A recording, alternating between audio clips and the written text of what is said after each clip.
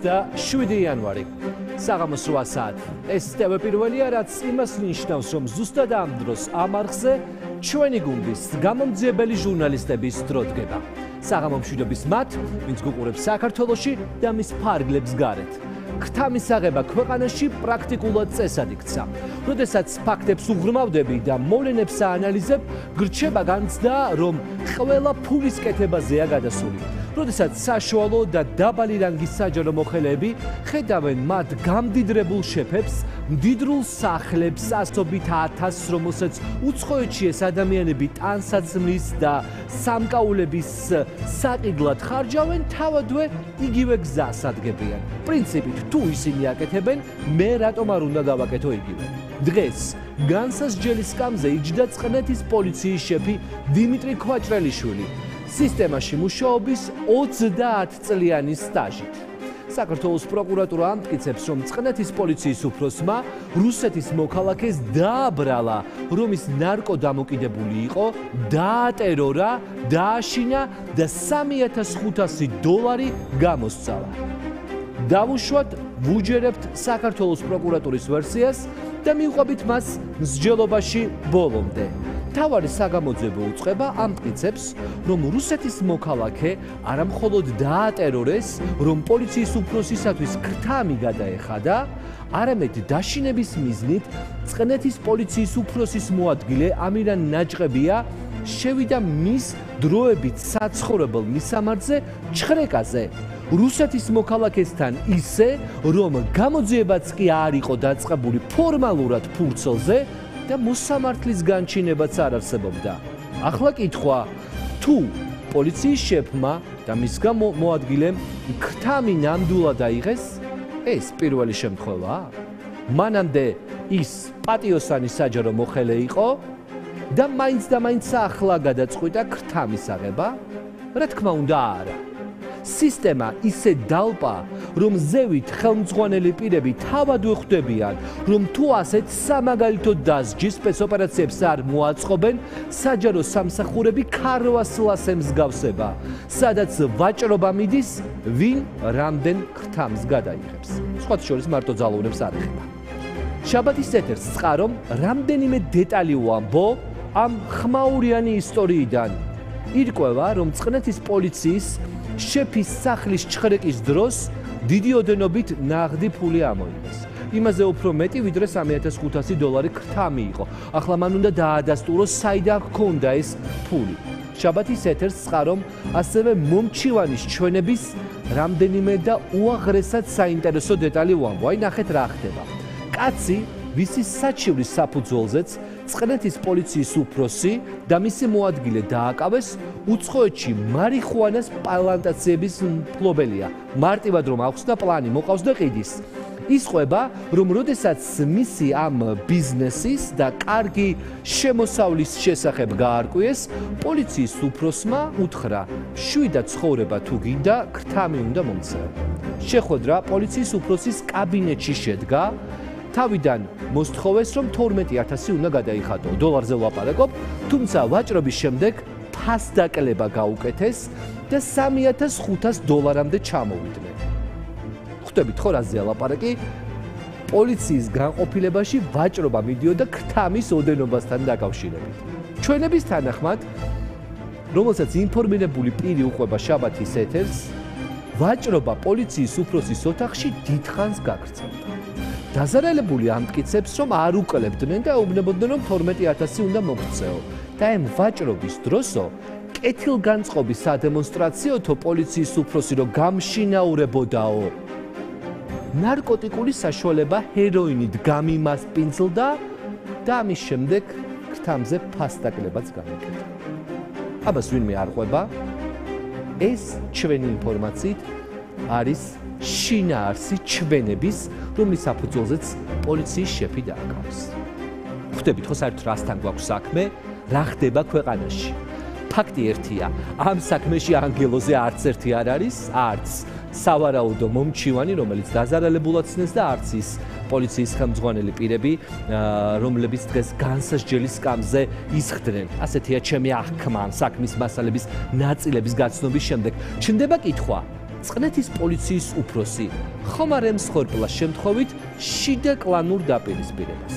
იქნებ მარიხუანას პლანტაციების ბიზნესის მფლობელს ყავდა უფრო გავლენიანი მფარველი, ვისთანაც საქმე დაალაგებული ჰქონდა და როდესაც ქვედარგოლმა იგივე ტიპზე ფულის კეთება გადაწყვიტა, ის სამაგალითო დასაჯეს. ფაქტი ერთია, ქვეყანაში ქრთამის აღება გახდა მოდური, აი საბჭოთა კავშირის დროს რომ იყო ხოლმე, ვინც უფრო მეტ ქრთამს იღებდა, რაღაცა ელიტური გუნდის წევრად რომ ითვლებოდა და ახლობით აი ეპოქას უბრუნდებით ნელ-ნელა და ფაქტია რომ ნარკორეალიზატორების ასეთი ბუმი, ვინც თაობებს წამლავს ჩვენ ქვეყანაში, ჯერ არ ყოფილა. ისეთი გათავხედებულები არიან, რომ მიმტანებს ვერ პოულობენ. მიმტანი ანუ ვინც უნდა მიიტანოს გამყიდველისგან, ეგრეთ წოდებული ბარიგისგან დანიშნულების ადგილამდე წამალი. და აი ფაქტები, როგორ ვერ პოულობენ მიმტანებს და რა მასშტაბები აქვს ქვეყანაში, ახლა მე ინტერაქტიულ ეკრანზე უნდა გადავინაცვლო. და გაჩვენებთ თქვენს.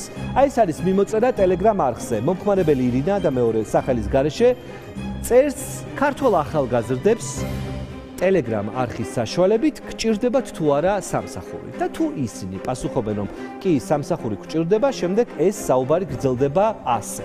რომ შენ უნდა მიიტანო ორგანული ნივთიერებები, სინთეტიკები, ამფეტამინები, ჰაშიში და ასე შემდეგ დანიშნულების ადგილამდე. პირი, რომელიც შეხვდა ჩვენი ერთ-ერთი ჟურნალისტი, ადამიანს ვინც ნარკოტიკების მინტანს პოულობდა, პოსტალიოს ეძებდა. ეკითხება რომ ეს ნარკოტიკები არისო, ის უდასტურებს კიო.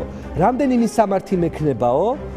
დღის განმავლობაში მისატანიო და მანამდე უნდა რომ 200 დოლარს გადაგიხდიო დაახლოებითო დღეშიო. და ესეუნება ჩემო ძმაო, მოკლედო, ერთი კურიერიო, დღეში 20-30 მისამართზე უნდა მივიდესო და ერთი წამლის დასადებად 8-10 დოლარი არის თანხა, ფეხის თანხა, გასამსჯელო.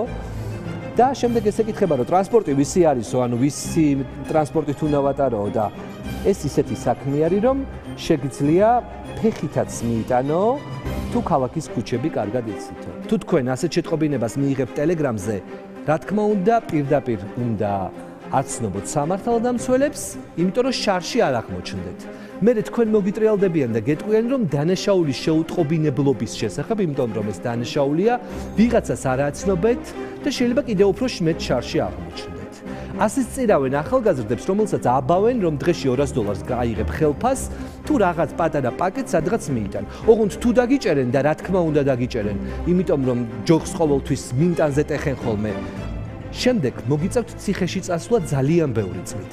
ამიტომ პირველი რაც უნდა გააკეთოთ და ვირუსულად ვრცელდება ასეთი შეტყობინებები, მიმართოთ პოლიციას. იმიტომ რომ თქვენ თქვენი პასუხისმგებლობა ჩაიხსნათ, შემდეგ მათ უნდა გამოიციონ, ვინ არის და ვინ ითხრევს ამ სქემაში ქართულ ახალგაზრდებს.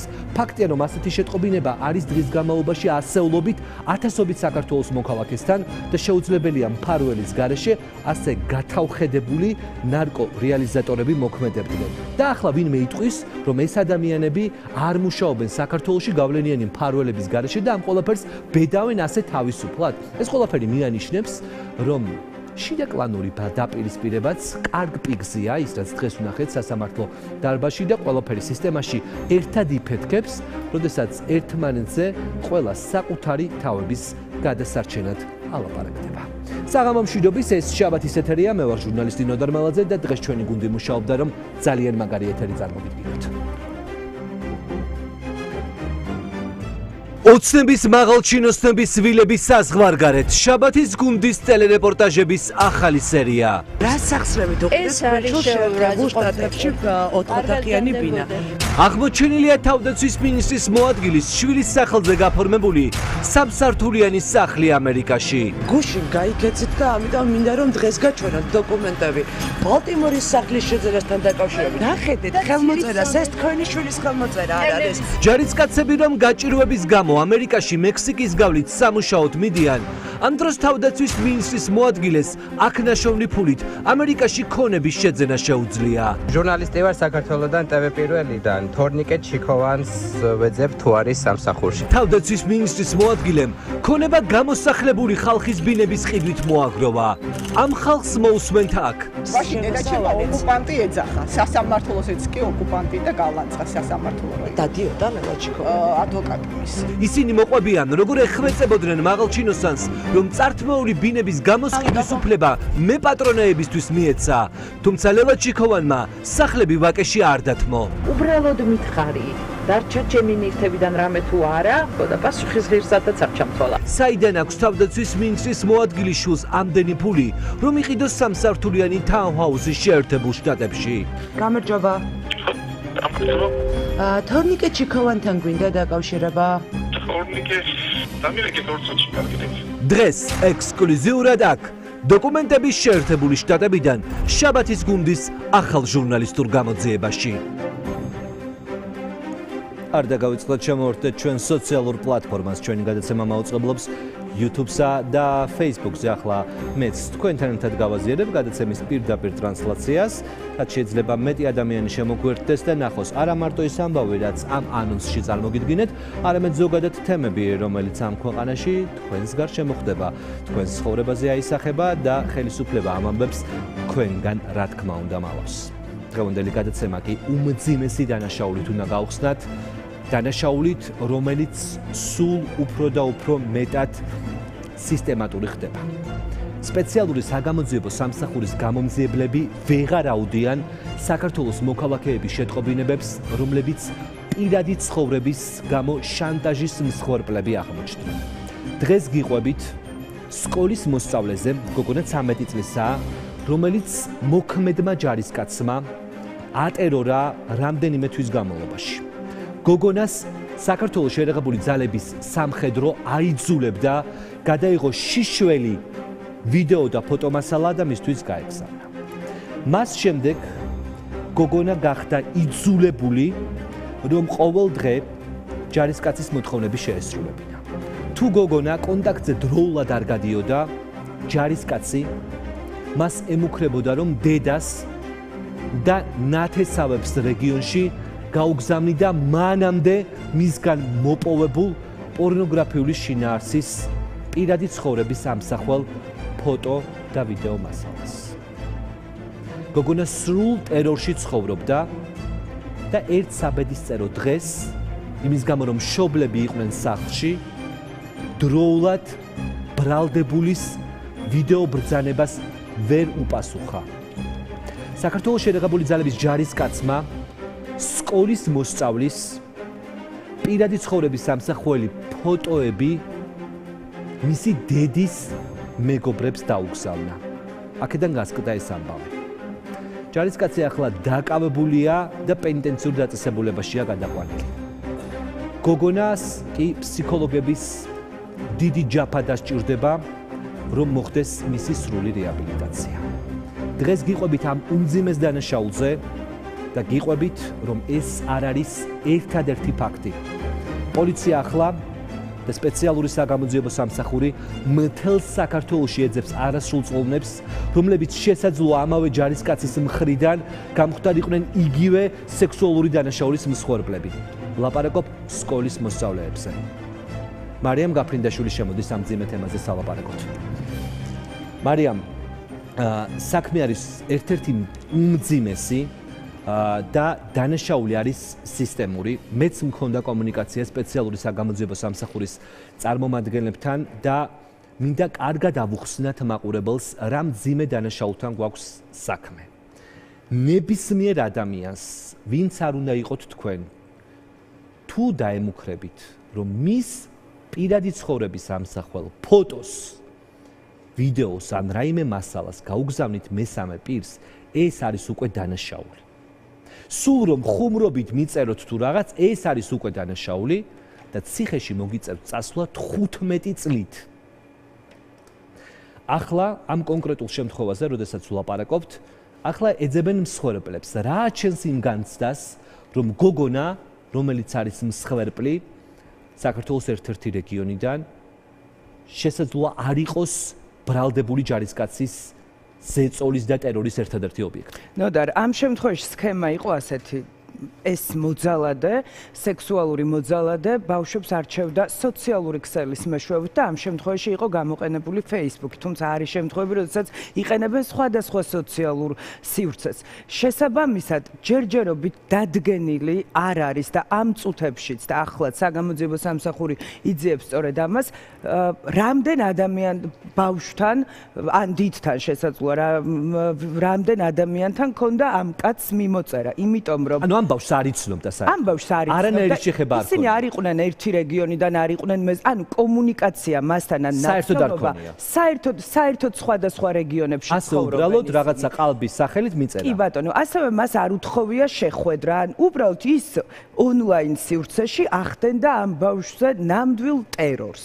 შესაბამისად, ახლა საგამოძიებო უწყება არკვევს კიდევ ვინ იყვნენ ამ კაცის ძალადობის მსხვერპლები, იმიტომ რომ როდესაც გაშიფრეს ეს სქემა და როდესაც ამოიღეს მისი მობილური ტელეფონი, ერთ-ერთი გახსნეს, მეორეს გახსნაზე ახლა მუშაობენ, იქ ანუ თვითონ არ გაუხსნა ტელეფონი, როდესაც მას ქონდა დაკავების დროს ორი მობილური, ერთი მობილური, რომელიც ამოიღეს, ამ მობილურში 13 წლის გოგონას ვიდეო კადრები აღმოჩნდა და შესაბამისად ეს პირდაპირ იმტკიცებულებაა, რომ ამ კაცმა ეს დანაშაული ჩაიდინა ადვოკატი კი ამბობს, რომ ეს ასე არ არის, თუმცა საქმეში დევს ეს ყველაფერი, თუმცა მას თან ქონდა ასევე მეორე მობილური ტელეფონი, რომლის პაროლით საგამოძიებო უწყებას მან არ უთხრა.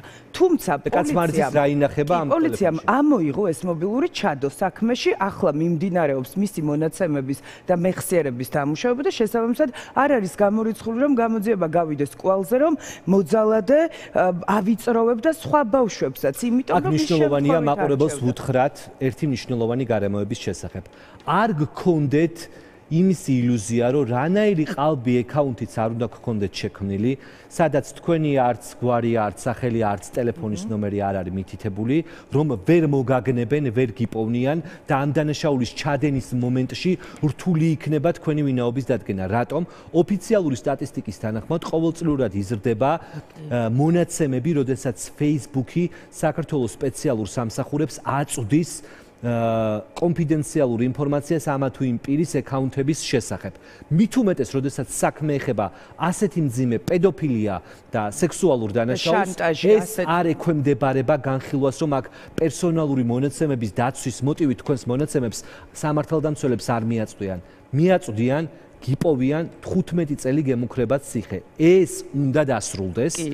იმიტომ რომ ჩვენ გქონდა კომუნიკაცია სპეციალური საგამოძიებო სამსახურთან და კატასტროფა ხდება. კი, სხვათა შორის აუცილებლად უნდა ითქვას, რომ თავად გამომძიებლების ეს სამსახურიც პირდაპირ ამბობს, რომ დღის განმავლობაში შედის ათობით მსგავსი საქმე და გამომძიებლები ფიზიკურად ვეღარ აუდიან და უნდა ითქვას იცით, რომ ამ შემთხვევაში კანონმდებლობა გამკაცრებულია და მიდგომაც არის ძალიან მკაცრი, იმიტომ რომ სტატისტიკა არის მზარდი და დაშანტაჟებული ბავშვი, ანუ მცირე ასაკი არა აქვს ამ დანაშაულს სკოლის მოსწავლეები, ზრდასრული ადამიანები, მართლა კატასტროფა ხდება ამ კუთხით და შესაბამისად საგამოძიებო უწყებაში ამას პრაქტიკულად ამბობენ და ათობით მოწმენდილ ცაზე იყო, როდესაც ჩვენს ქვეყანაში ერთდროულად იფეთქა ოჯახური დანაშაულის სტატისტიკამ, როდესაც ხდებოდა ქალებზე ძალადობა და ამ მუხლით ჩადენილი დანაშაული და ახლა მოულოდნელად კატასტროფულ რაოდენობას მიაღწია,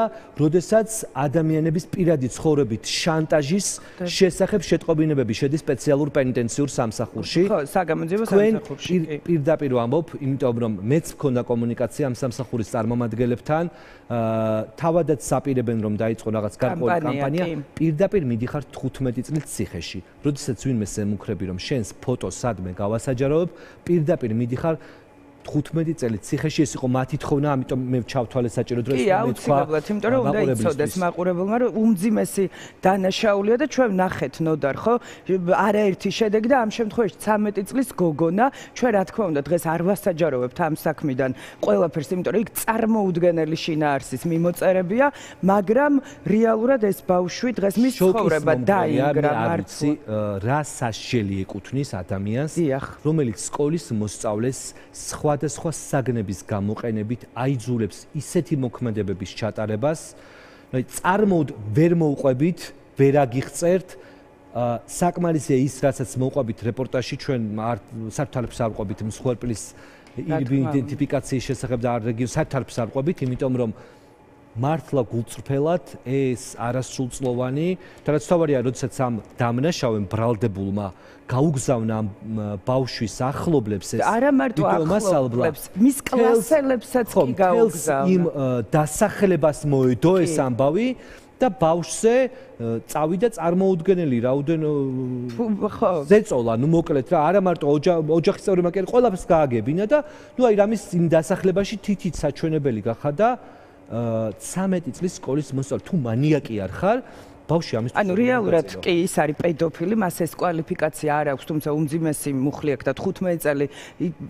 იმედი მაქვს, რომ დაუმტკიცდება მას ეს დანაშაული და ამ საქმეში არსებობს. პირდაპირ მტკიცებულებებია, მისი ტელეფონიდან არის ეს კადრები ამოღებული. ნამდვილად დაცვის მხარეს აქვს სტრატეგია, რომ თითქოს სხვა ჯარისკაცები წერდნენ ამ გოგონას, მაგრამ ეს უკვე ძალიან მნიშვნელოვანია. თუ დადგინდება, რომ ამ მობილური ტელეფონით არა მხოლოდ დაკავებული, არამედ სხვა ჯარისკაცებიც სარგებლობდნენ, რასაც ამტკიცებს დაკავებული ადვოკატი, აქ საერთოდ წარმოუდგენელი მასშტაბის დანაშაულზე გავდივართ. კი, სამწუხაროდ კი, მაგრამ ხო, დუმილის უფლებას იყენებს ეს კაც, ბრალდება უმძიმესია და მან საგამოძიებო უწყების არაერთი მცდელობის მიუხედავად, მან არ უპასუხა არც ერთ კითხვას და ნახოთ რა სიტყვის სასამართლო თავისუფლებელი არაფერი აღმოჩნდა. მარიამ გაფრინდაშვილის რეპორტაჟში თქვენ ახავთ ამ უმძიმესი დანაშაულის დეტალებს და კიდევ ერთხელ ნებისმიერი თქვენი გაგზავნილი შეტყობინება თუნდაც თქვენს კარგ ნაცნობთან, მეგობართან, ნათესავთან, რომ თქვენ მის ფოტომასალას, პირადი ცხოვრების ამსახველს ან ვიდეო კადრებს გამოაქვეყნებთ, ან ჩადენილი მსგავსი ქმედება პირდაპირ ნიშნავს, რომ ციხეში წახვალთ ბევრი წლით. არ გეგონოთ ყალბი აკაუნთი ამის დაცვა, რატომ? როგორ მიაგნეს საქართველოს შეერაღებული ძალების მოქმედ ჯარისკაც რომელმაც მსგავსი ქმედება 13 წლის გოგონას მიმართ ჩაიდინა ამაზე მარიამ გაფრინაშვილი გიყურებთ დღეიდან მე მომართავ როგორც მეფეს. შენ იქნები მონა და მე მეფე გასაგებია? დიახ ვიქნები მეფეო ახლა გამომიგზავნე დროზე რაც გითხარი. ან ჩამირთე კამერა, თორემ ყველა შენიანს გაუგზავნი შენს კადრებს.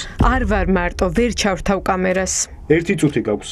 უკვე 30 წამი. დროზე, თორემ ვუგზავნი დედა შენს ვიდეოს. გთხოვ, არ ჩაუგდო აბაზანაში გავალ. მეფეო, გადავიღებ ვიდეოს ან დაგირეკავ. ასე ატერორებდა 13 წლის სკოლის მოსწავლეს საქართველოს შეიარაღებული ძალების სამხედრო მოსამსახურე. მოქმედი ჯარისკაცი, რომლის ვინაობასაც არ ვასაჯაროებთ, გოგონას აიძულებდა ის მეფედ მოეხსენიებინა. ინტიმური შინაარსის ვიდეო მასალა გადაეღო და მისთვის გაეგზავნა. 23 წლის ჯარისკაცმა სკოლის მოსწავლეს ცხოვრება ჯოჯოხეთად უქცია. თითქმის 3 თვის განმავლობაში მოზარდს დღეში რამდენჯერმე ურეკავდა ინტიმური შინაარსის ვიდეოების გადაღებას და მისთვის გაგზავნას აიძულებდა. დროზე გაიხადე და გადაიღე ვიდეო. მოიცადე ერთი წუთი. არ მაქვს ბევრი დრო. იცოდე ყველა ნახავს შენს კადრებს დროზე. აღარ შემიძლია ხომ ყველა შენს მოთხოვნას ვასრულებ. მაცადე ერთი წამი გთხოვ. არ მაინტერესებს. ვუგდებ მაშინ შენს კადრებს მესენჯერში შენებს. კარგი, არ გაუგზავნო ახლავე.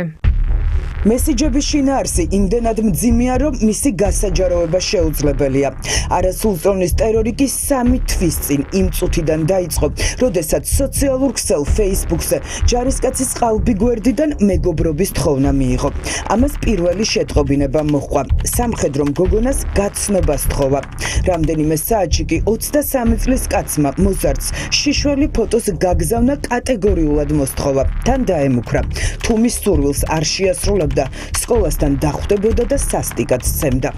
კომუნიკაციის ძალიან მალე დაწყებიდან უკვე ბრალდებული გადადის იმ ეტაპზე, რომ ემუქრება და ეუბნება, რომ თუ არ გამომიგზავნი მე შენი შიშველის ხეულის ამსახველ ფოტო და ვიდეო მასალას, მაშინ დახვდები სკოლასთან და ფიზიკურ ანგარიშწორებით ემუქრებოდა არასულწლოვანს. სწორედ აი ამ შიშის გამო მოხდა შემდგომ ის, რომ არასულწლოვანი მას ნამდვილად გადაუგზავნა მუქარი საფუძველზე თავისი შიშველი ფოტო და ვიდეო. ეს ქეთევან თეთრაულია, განსაკუთრებით მნიშვნელოვან საქმეთა დეპარტამენტის გამომძიებელი. ჯარისკაცის მიერ ბავშვზე განხორციელებული ძალადობის ფაქტები იმდენად მძიმე აღმოჩნდა, რომ საქმე გამოსაძიებლად მის დეპარტამენტს დაეწერა. გამომძიებელი შაბათის ეთერთან ამბობს, რომ ერთი ინტიმური ფოტო სამხედრომ ბავშვის დასაშანტაჟებლად გამოიყენა და მასზე სისტემატიური ზეწოლა დაიწყო. უკვე შეიცვალა მუქარის ფორმა. შემდგომი მუქარები უკვე ეხება, რომ როდესაც გაუგზავნა არასრულწლოვანო ეს ფოტო და ვიდეო მასალა, თუ არ გინდა რომ მე უკვე რაც გამომიგზავნე, აი ეს ვაჩვენო დედა შენს და შენს ახლობლებს, მაშინ დამატებით გამომიგზავნე. შესაბამისად, უნებრივია უფრო მეტად შიშის მომგვრელი იქნებოდა და ზუსტად აი ამის გამო იყო, რომ დამატებით უწევდა არასრულწლოვანს მუქარის ქვეშ და შიშის ქვეშ, რომ კვლავ გაეგზავნა მისი მოთხოვნისამებრ გადაღებული ფოტო და ვიდეო მასალა. სექსუალური მოძალადე Facebook-ით მოზარდს დღეში რამდენჯერმე ურეკავდა. მისი მოთხოვნები კი ყოველდღიურად იცვლებოდა. 13 წლის გოგოს მოქმედი ჯარისკაცი თავდაპირველად საკუთარი ფოტოების და ვიდეოების გაგზავნას აიძულებდა. შემდეგ კი დედის და ოჯახის წევრების ინტიმური ფოტოების გადაღებას თხოვდა. თხოვდა რომ შიშველი ყოფილიყავი. თუ ოთახში ვინმე იყო და ვერ ვესაუბრებოდი, მაშინ ვიდეოს გადაღებას მაიძულებდა. წინააღმდეგ შემთხვევაში მაშანტაჟებდა რომ ჩემს ინტიმურ კადრებს ყველას გაუგზავნიდა.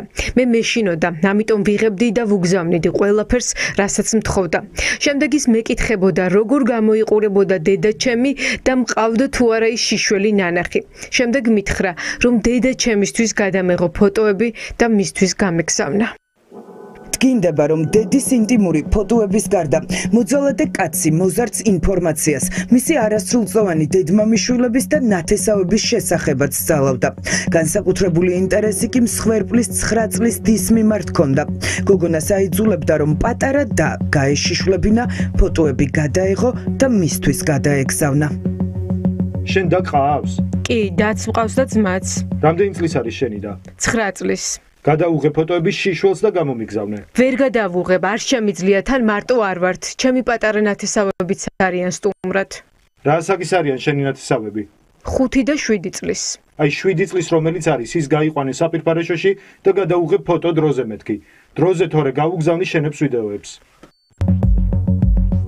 საკუთარი და ოჯახის წევრების ინტიმური ფოტოების გარდა 23 წლის ჯარისკაცის სკოლის მოსწავლეს სექსუალური ხასიათის ქმედებების განხორციელებასაც სხვადასხვა ნივთებით თხოვდა.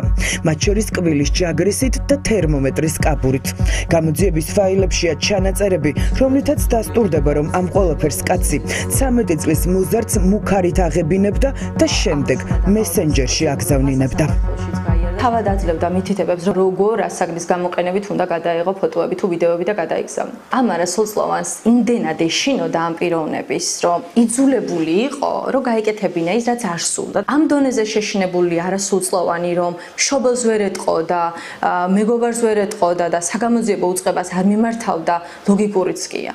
ანუ ინდონეზიაში შინოდა რომ იმ ყოლაფერს აკეთებდა და მასზე ის თქვა რომ ტერორში იყო ხა მე იქ ანუ ფსიქოლოგიურად ეს იყო მისთვის ძალიან ძიმე სკოლის მოსწავლის ცხოვრებაში ეს ჯოჯოხეთი სავარაუდოდ კიდევ დიდხანს გაგრძელდებოდა, რომ არა ერთი შემთხვევა.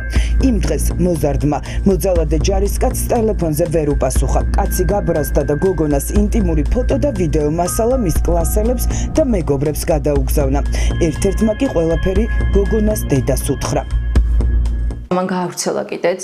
ეს შეიძლება ყოფილიყო ის რომ ზუსტად ისეთი ვიდეო ჩანაწერები ვერ მიიღო რაც სურდა შეიძლება იყო რომ რაიმე კუთხით გაბრაზდა ან შეიძლება უბრალოდ ესე გადაწყვიტა. შემდგომ უკვე ეს მივიდა დედის ყურამდე თუმცა ეს ძალიან კარგია რადგან სწორედ დედა დაუკავშირდა სპეციალურ საგამოძიებო სამსახურს და ჩვენს მიერ უმოკლეს დროში ჩატარებულმა გამოძიებამ უზრუნველყო ის რომ დღევანდელი მონაცემები ეს პირი უკვე დაკავებულია გამოძიება საზარელ დანაშაულზე სპეციალურმა საგამოძიებო სამსახურმა იმავე დღეს დაიწყო. დადგინდა, რომ სავარაუდო მოძალადე საქართველოს შეიარაღებული ძალების სამხედრო მოსამსახურე იყო. ის პოლიციამ იმავე დღეს თბილისში დააკავა.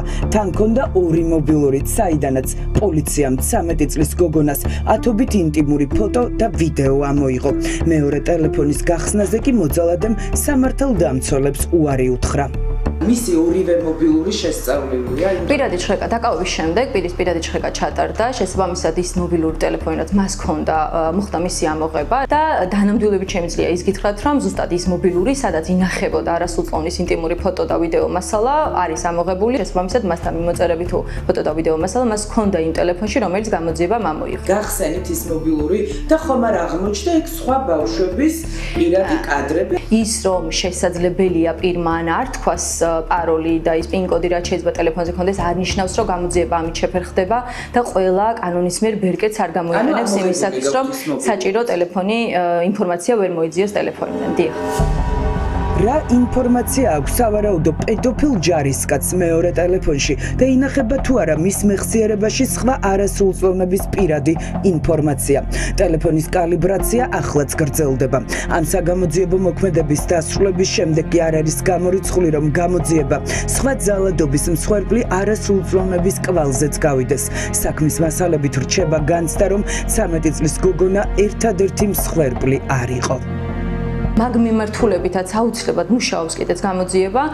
უბრალოდ აი ის დეტალები, რაც როგორც თხოვდა უმეტეს სიროწყლოვან ბავშვებთან დაკავშირებით, მაგას ნამდვილად ვერ გეტყვით ახლა, თუმცა დანამდვილებით გეტყვით, რომ ყველა მიმართულებით გამოძიება იმუშავებს და თუ რაიმე რომელიმე სხვა დაზალებული იქნება ის თუნდაც ოჯახის წევრი თუ არა ოჯახის წევრი, გამოიკვეთება, იქნება რაიმე სახის სხვა დანაშაულის ნიშნები, ამაზეც აუცილებლად გვექნება პრესიერი და კანონის მიერი მკაცრი რეაგირება გამოძიების ფაილებით ჩნდება განცდა, რომ სავარაუდო პედოფილი მსხვერპლს სოციალურ ქსელში შემთხვევითი პრინციპით არჩევდა.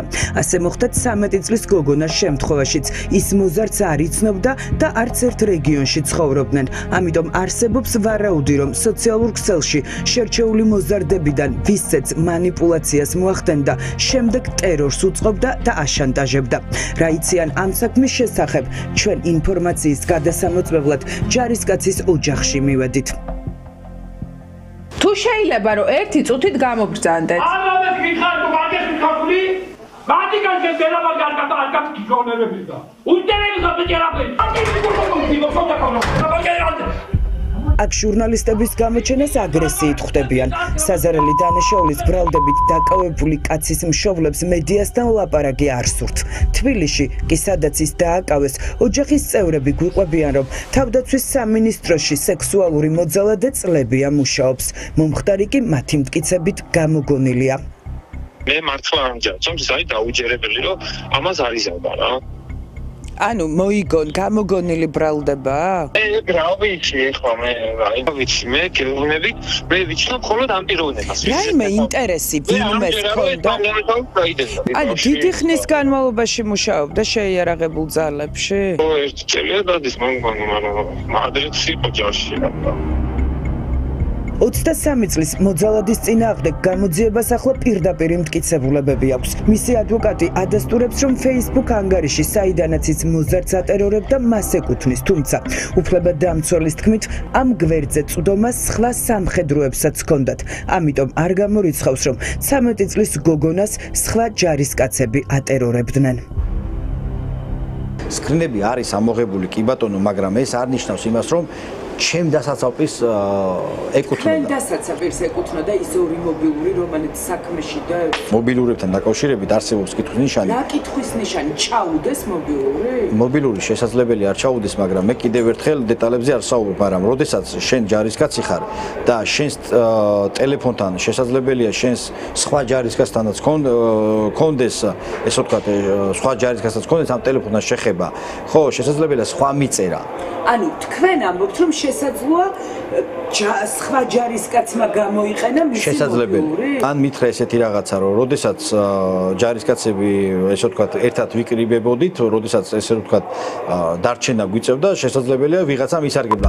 ადვოკატის ეს ვერსია არადამაჯერებელია. ჩდება კითხვა, თუ ჯარისკაც საქმესთან შეხება არ აქვს და მის Facebook-თან წვდომა სხვა ადამიანებს ჰქონდათ, რატომ არ აძლევს ის საგამოძიებო უწყებას ჩვენებას და რატომ არის დუმილის რეჟიმში? ამ ფაქტს ადვოკატი დაცვის სტრატეგიით ხსნის. საგამოძიებო უწყებას ჩვენებას რატო არ აძლევს და რატომ არ ეუბნება უმძიმესი ბრალდებით არის დაკავებული და იმიტომ რომ ეუბნება ვინ სარგებლობდა მისი მოგებული სწორედაც სწორედაც რომ ჯერჯერობით ის არის ეს უკვე ძალიან ძიმე მდგომარეობაშია მორალურად ისეთი ბრალდება ბრალდებები აქვს მას წარდგენილი. აქედან გამომდინარე რა თქმა უნდა ის ეხაც მზად არის და მომავალში მზად იქნება რომ საგამოძიებო უწყებას მიაწოდოს სწორი და სრულფასოვანი ინფორმაცია. თუმცა ერთი თვე გავიდა და ის დუმილის უფლებას იყენებს. ის დუმილის უფლებას იყენებს ესე არ არის. უბრალოდ აქ არის სიტუაცია რომ თავად ბრალდების ხარი აღარ ცდილობს რომ მაგალითად ბრალდებულთან რაიმე სახის კომუნიკაცია დაამყაროს. თვითონ უნდა ჩვენების მიცემა. თვითონ უნდა ჩვენების მიცემა, კი ბატონო. და არ კითხავენ? არ კითხავენ ეგრე კი ბატონო თვითდაპირ თუ გინდათ გაქცეთ პასუხი ეს არის რომ ამ ეტაპზე არ კითხავენ რა აქვს სათქმელი მას საგამოძიებო უწყებისთვის ის რომ სხვა ჯარისკაცები იყენებდნენ მის მოგვითხრობას მას ბევრი ეხა მე დეტალებში არ მინდა შევიდე იმიტომ რომ მიჩვენია რომ თვითონ ისაუბროს ამ ყოველივეზე ვიდრე მე დავასწრო და გავასწრო მოვლენებს 15 წელი ციხეში. ეს სასჯელი ემუქრება სექსუალურ მოძალადეს ციხეში თუ დანაშაულს დაუმტკიცებენ. თუმცა არ არის გამორიცხული გისოზებს მიღმა კიდევ უფრო მეტი წლის გატარება მოუწიოს. ეს იმ შემთხვევაში თუ დადგინდა რომ მისი ტერორის მსხვერპლი სხვა ბავშვებიც იყვნენ. 52 მილიარდი ლარი წელიწადში. ეს არის საქართველოსი აზარტული თამაშის ყოველწლიური ბრუნვა. ანუ ორჯერ უფრო მეტი და კიდევ უფრო მეტი ვიდრე მთელი ქვეყნის ბიუჯეტია. რაც ქართული ოცნება ხელისუფლებაში მოვიდა, აზარტული თამაშების ბრუნვა 12 ჯერ გაიზარდა. ჩნდება კითხვა. ამ უხშემოსავლიანი ბიზნესით ვინ სარგებლობს? მხოლოდ ისინი, ვის სახელებზეც ოფიციალურად ეს აზარტული თამაშია გაფორმებული კომპანიები, ონლაინ ტოტალიზატორები, ონლაინ კაზინოები, თუ რეალური კაზინოები, თუ ხელისუფლების პირველი პირებიც. გვახსოვს, ორი წლის წინ პრემიერ-მინისტრმა თქვა, რომ იმდენად სავალალო შედეგებამდე მივდივართ, შეზღუდვები უნდა დავაწესოთ. თუმცა ირაკლი ღარიბაშვილის ამ განცხადების და დაწესებული შეზღუდვების შემდეგ აზარტულ თამაშებში ჩასხმული ფულის რაოდენობა კიდევ უფრო გაიზარდა. დღეს პირველად და მხოლოდ ამ ეთერში ალაპარაკდება კაცი, რომელმაც საქართველოში პირველმა შემოიტანა ინტერნეტ კაზინოს ცნება და აზარტული თამაშები. თავდაპირველად ბევრი ფული იშოვა. მაგრამ დღეს ის ამ ეთერში მოყვება როგორ წაართვა ამ ბიზნესის სტილი და ათმობინა ოთარ ფარცხალაძემ და როგორ ეუბნებოდა ფარცხალაძე, რომ ეს ბიძინა ივანიშვილის პირადი მითითებით ხდებოდა. აქვს თუ არა რეალური ინტერესი ივანიშვილს აზარტული თამაშების ბიზნესში და მიდის თუ არა მართლ პარტიასთან ადამიანების წაგებიდან შესული დიდი ფული. მაკა ჩიხლაძე შემოდის ამ თემით სტუდიაში. ახლა მასთან ერთად უნდა ვილაპარაკოთ, მან ჩაწერა ძალიან ხმაურიანი ინტერვიუ. პრინციპში ეს არის პირველი შემთხვევა, როდესაც ამ ბიზნესში ჩართული ადამიანი თავად ლაპარაკობს ყველაფერზე და თავად ხსნის კარტებს. მაკა როგორ დაიწყო და სად მოხდა ამ ადამიანის ტერორი? ეს არის პირველი შემთხვევა, როდესაც ომეგა ჯგუფის ცნობილი ჩანაწერების შემდეგ კიდევ ერთხელ ვიგებთ ოთარ ფარცხალაძის ლეგენდარული შტაბის სარდაფის შესახებ. კიდევ ვიგებთ არა მხოლოდ იმას, რომ ეს სარდაფი არსებობს, ამ შესახებ ისედაც ვიცოდით, დაახლოებით მისამართს მაინც, იმიტომ რომ ეს ადამიანი მიიყვანეს შარტავას 37 ნომერთან და უთხრეს, რომ აქ არის ჩვენი ცნობილი შტაბი. უბრალოდ მოხდა ისე, რომ იმ დროს, როდესაც ოთარ ფარცხალაძეს უნდა ჩაეყვანა და იქ განეხორციელებინა ზეწოლა ამ ადამიანზე, მას ყავდა სტუმარი, ამ ცნობილ შტაბში, როგორც ჩვენი რესპონდენტი გვეუბნება, ეს იყო რუსი სამხედრო პირი და ამიტომ შტაბში მისი ჩაყვანა ვერ მოხერხდა. შესაბამისად, მიმდებარე ტერიტორიაზე სწორედ ჩარტავას 37-ის წინ მანქანაში მოხდა ის, რაზეც გვიყვება ჩვენი რესპონდენტი. ჩვენი რეპორტაჟი ეყრდნობა სათამაშო ბიზნესის ოფიციალური მეწილის მონათხრობს და ჩვენ ამ ჩვენი სტანდარტის შესაბამისად გადავამოწმეთ ყველა მის მიერ დასახელებული ფაქტი და ქონდა კომუნიკაცია მის მიერ დასახელებულ ფიგურანტებთან. მაკა რა ოდენობის ფული ბრუნავს ამ ბიზნესში, რის გამოც ფარცხალაძეს უღირდა ძალიან პატარა წილის მფლობელი 10%-იანი წილის მფლობელი ადამიანის რეიკეტი და მისი იძულება რომ ეს წილები დაეთმო. 10% შეიძლება არ ჟღერს ახლა რეგითი მაყურებლისთვის ძალიან ისე რომ შთამბეჭდავი ციფრი იყოს, მაგრამ თუ იმ ციფრებს გადავხედავთ, რასაც თქვათ ამ ბიზნესიდან შემოსული მოგება და ბრუნვა ზოგადად გვაჩვენებს, მივხვდებით რომ აქ ძალიან დიდ ფულზეა ლაპარაკი. თუ დავუშვათ 2011 წელს 424 მილიონი იყო, დღეს ახლა ქართული ოცნების მართლობისას 52 მილიარდამდეა გაზრდილი და ეს მაშინ, როდესაც 3 წლის წინ ჩვენმა პრემიერმა გვითხრა რომ უნდა აიგრძალოს როგორც თამაში გარკვეული გარკვეული ასაკის შემდეგ, გასაკამდე, ასევე რეკლამაც.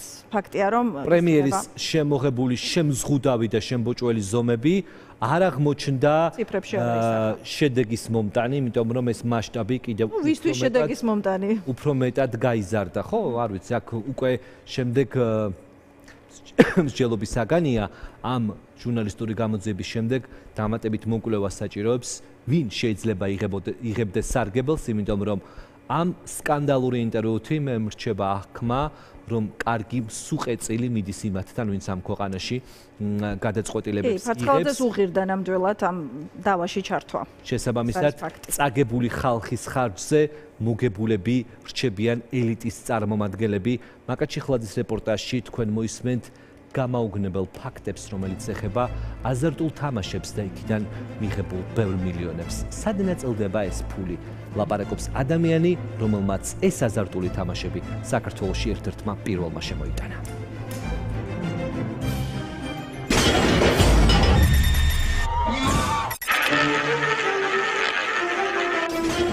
52 მილიარდი ლარი ერთ წელიწადში. აზარტული თამაშების ბიზნესისთვის 2023 წელი ყველაზე უხშემოსავლიანი აღმოჩნდა. ერთ წელიწადში ამ ბიზნესში საქართველოს ბიუჯეტზე ორჯერ მეტი ფული დაილექა.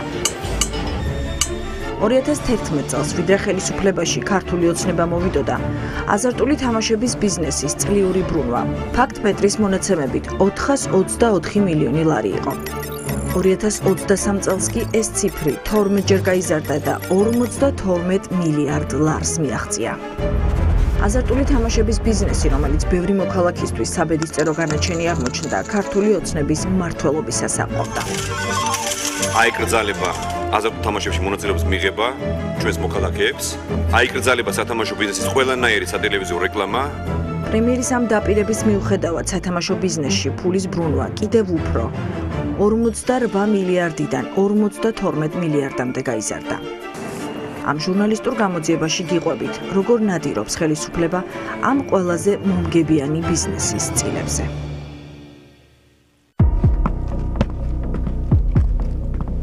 მე მწხვენია, რომ დღეს ივანიშვილის მთავრობა და ივანიშვილი მე მართმევს და თავის შვილებს აჭმევს. ჩემს შვილს ართმევს და თავის შვილს აჭმევს. მე ამის მწხვენია. ეს მამუკა ქუნთელია, საქართველოსი პირველი ონლაინ კაზინოს შემქმნელი. ამტკიცებს, რომ მასთან თანამშრომლობით დაიწყეს თავის დროზე სათამაშო ბიზნესი ცნობილმა ონლაინ კაზინოებმა.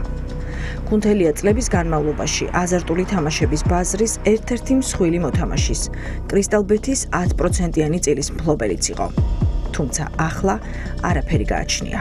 აქ ჩემი ბიზნესია, რომელიც თელი ცხოვრება ვქმნიდი და ეს ყველაფერი დღეს უდევს ბიძინა ივანიშვილს თავის გაშლილ სუფრაზე და თავის ვირთხები ძიძგნიან. ერთ დროს მილიონობით დოლარის აქტივის მფლობელი კაცი ამტკიცებს, რომ აზარტული თამაშის ბიზნესის წილი ბიძინა ივანიშვილის ნდობით აღჭურვილმა ოთარ ფარცხალაძემ ოლიგარქის სახელით დაათმობინა. თარი ჩაერევაო ამ საქმეშიო. ხო და რა იციო როგორ იქნებაო? ეხლა მე არც იმას გეუბნებიო რომ ცუდად იქნებაო და არც იმას რომ კარგად თუ მაგრამ რა იცი რა იქნებაო და იქნებო სანამ ოთარი ჩარეულაო ფარცხალაძეო იქნებო რაღაცა თანხაზე შევთანხმდეთო რა რა ვიცი აი 3 მილიონიო 5 მილიონიო რამდენი გინდაო თქვიო და იქნებო რაღაცა შევთანხმდეთო მე უთხარი რომ მეთქი არა არა არ არის რა არ არსებობს მეთქი. კუნთელია საქართველოსი ყველაზე მოთხოვნადი აზარტული თამაშების ექსკლუზიურ უფლებას ფლობდა. ამ თამაშებზე მაღალი მოთხოვნის გამო ონლაინ კაზინოებს ნადირობა ჰქონდათ გამოცხადებული. საბოლოოდ ყველაზე სარფიანი წინადადება კრისტალ ბეთისგან მიიღო მისი თამაშები მათ პლატფორმაზე განათავსა და სანაცვლოდ აქციების 10% მისცეს ეს დასტურდება საჯარო რეესტრის ამონაწერითაც შემოსავლების სამსახურის ამონაწერი კი ადასტურებს იმას, რომ აზარტული თამაშების კომპანიისგან მას ხელფასისა და დივიდენდის სახით ჯამში 1.200.000 ლარზე მეტი აქვს დარიცხული. 16-ში ერთადერთხელ ჩამერიწყეს ეს დივიდენდი და მის შემდეგ არანაირი კონტაქტი, არანაირი ფული, არანაირი დივიდენდი და მიდის არანორმალური ზეწოლა, რომ გადა გადავაფორმო ეს წილი. ბიზნესმენი ყვება, რომ როგორც კი კრისტალბეტს თამაშების გამოყენების უფლება გადასცა, კომპანიამ მისი თავიდან მოშორება გადაწყვიტა. პირველ ეტაპზე კუთვნილი დივიდენდების გაცემა შეუწყვიტეს. ანუ ქუნთელია მრავალ მილიონიანი ბიზნესის მეწილე იყო 2015-დან 2019 წლამდე, თუმცა მოგებიდან წილს 2016 წლის ივნისის შემდეგ აღარ ურიცხავდნენ. ბიზნესმენმა ამის გამო პარტნიორებისთვის ჩივილი ფინანსთა სამინისტროს საგამოძიებო სამსახურში გადაწყვიტა.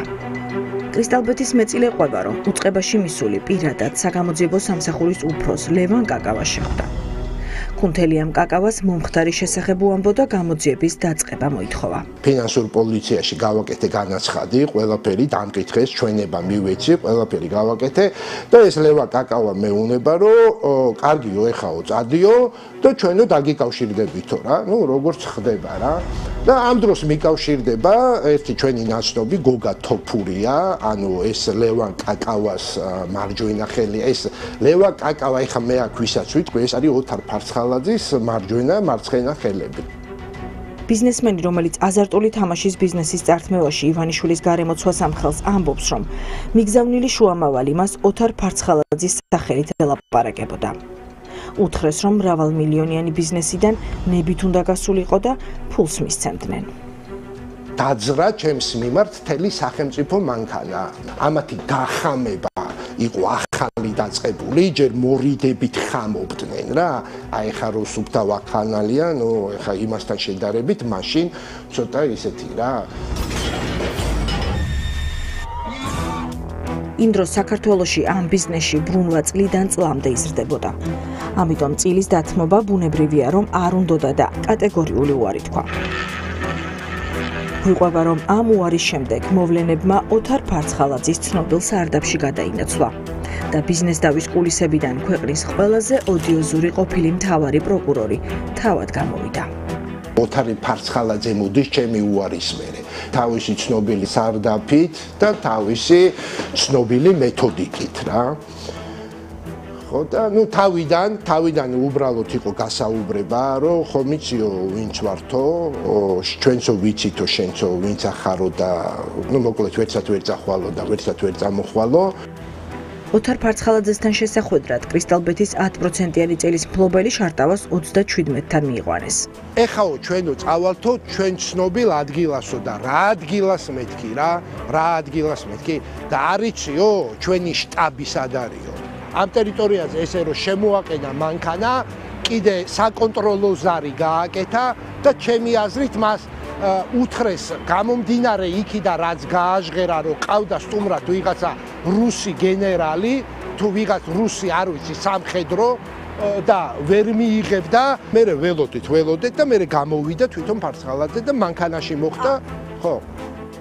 ანუ ერთხელო გეტყვიო და უფრო კარგათო კიდეო რა თან უკვე იქ უკვე იყო ზეწოლის ფაქტები და რაღაცა ეხა მე არა ვარ რა მე კრიმინალთან შეხება არა მაქვს და ცხოვრებაში დაჭერილი არ ყოფილი ვარ და პოლიციაში არა არანაირი ის არა მაქვს ეხა მე. და თუ ეს კრიმინალური რაღაც ის რო წავიდა ხასიათის უკვე ის შემატყო რომ ძალიან ავნერვიულდი და განვიცადე რა და არ ვიცი ალბათ მიხვდა რომ შემეშინდა და შეიძლება ჩათვალა რომ რა ვიცი რაღაცა არ მოუვიდესო და არ ვიცი ესეთი გადაწყვეტილება მეიღო მოკლედო მეო ჩემი გითხარიო ეხაო მიდიო და დანარჩენსო გეტყვისო ისო გახარიაო. და ჩაიწერეო ნომერიო მომცა ნომერი. საგამოძიებო სამსახურისა და ოთარ ფარცხალაძის შემდეგ კრისტალბეთის მეწილე. ბიზნეს ომბუდსმენთანაც მივიდა და დახმარებას თხოვა ამ პოსტზე მაშინ გიორგი გახარია მუშაობდა ქუნთელია ამბობს, რომ გახარიასაც მასზე განხორციელებული ზეწოლისა და იძულების ფაქტების შესახებ უამბო. შევხვდი გახარიას თავის კაბინეტში. რამოდენიმეჯერ ის ადგა გავიდა კაბინეტიდან შემოვიდა, ანუ გადარეკა შეათანხმა რაღაც აი ეს მომენტი იყო რა გადიგეთი ორჯერ გავიდა შემოვიდა კარგიო მოკლეთო წადიო ეხაო შენო ჩვენო ამას შენ სამი ხوار მიდიხარო ხوار გადიხარო ქვეყნიდანო ხო და არა მეთქი რა. არაფერი, კარგიო, მან შენო წადიო და დაგიკავშირდებითო რა. და წამოვედი და ნუ ეხა ველოდები რა მოხდება და ისევ რომ მოვიდა ეს გოგა თოფურია და ისევ იგივე ვინებს ეჭიდავებიო ხო ანუ ვინები გიდგასო წინო ხო ხედაო ფარცხალაძეო გახარიაო გადაწყვეტილება არც ეწოლის მეორე ტალღის შემდეგ შეუცვლია ამიტომ ოთარ ფარცხალაძემ საქმეში მასზე უფრო მძიმე артиლერია შემოიყვანა ყოფილმა მთავარმა პროკურორმა ბიზნესმენ შეუქმნა განცდა რომ მასთან პირდაპირ სატელეფონო ხაზზე ბიძინა ივანიშვილი იყო. საუბარში მეუნება ფარცხალაძეც და ეს თოფურიაც რომ საქმის ყურში არის პირველი. ნუ ხან პირველს ახსენებ და ხან ბიძინა ივანიშვილს რა. ხან პირველს ხან ბიძინა ივანიშვილს. ამას ახსენებდა ისეთ კვანძურ მომენტებში, რომ პირდაპირ კარნახობდა რომ всё იმის იქით არაფერი აღარ არის. ამ დროს უკვე მიხვდა, რომ წილს თუ არ დათმობდა, ფიზიკურად გაანადგურებდნენ და ქვეყანა დატოვა. მისივე თქმით, თავი ესპანეთს იმ იმედით შეაფარა, რომ ევროპაში წილის გადასაფორმებლად არავინ ჩააკითხავდა. ემიგრაციაში 3 წელი დახო. ამ დროს თან მომგებიანი ბიზნესის მფლობელი იყო და თან კუთვნილი წილიდან ერთ თეთრსაც აღარ უხდიდნენ. ამის გამო როგორც თავადყვება ბანკში ჩადებული ქონება. ჭავჭავაძის გამზირზე არსებული საცხოვრებელი ბინა და ძვირად ღირებული ავტომობილი გაუყიდეს ერთ დროს მილიონერი ბიზნესმენი 2019 წელს საქართველოში უსახკაროდ და უსახსროდ დაბრუნდა კუნთელი აყვება რომ ქუჩაში დარჩენილი იძულებული გახდა საბოლოოდ სამწლიან ომში თავი დამარცხებულად გამოეცხადებინა. 2019 წლის 2 აგვისტოს გაფორმებულ ნოტარიულ აქტში წერია რომ მამუკა კუნთელიას 10% ისევ მისმა პარტნიორებმა მილიონ დოლარად გამოიყიდეს რაც კუნთელიას ვემტკიცებით რეალურზე ბევრად დაბალი ფასი იყო გადაჭრით ვიძახი, რომ პირდაპირ ბიძინა ივანიშვილმა წამართვა მე ჩემი ცხოვრება, არა მარტო ბიზნესი. ოჯახი დამენგრა, არა ვიცი, დაავადებული ვარ, ალბათ ეს კარგი ჩეის ჩეკი რო გავიკეთო სანმე იმაში, რა ქვია, სამანტყოფოში გამოკვლევის ჩეკი რო გავიკეთო, ალბათ ერთი მინიმუმ 5 დაავადება აღმომაჩნდება რა.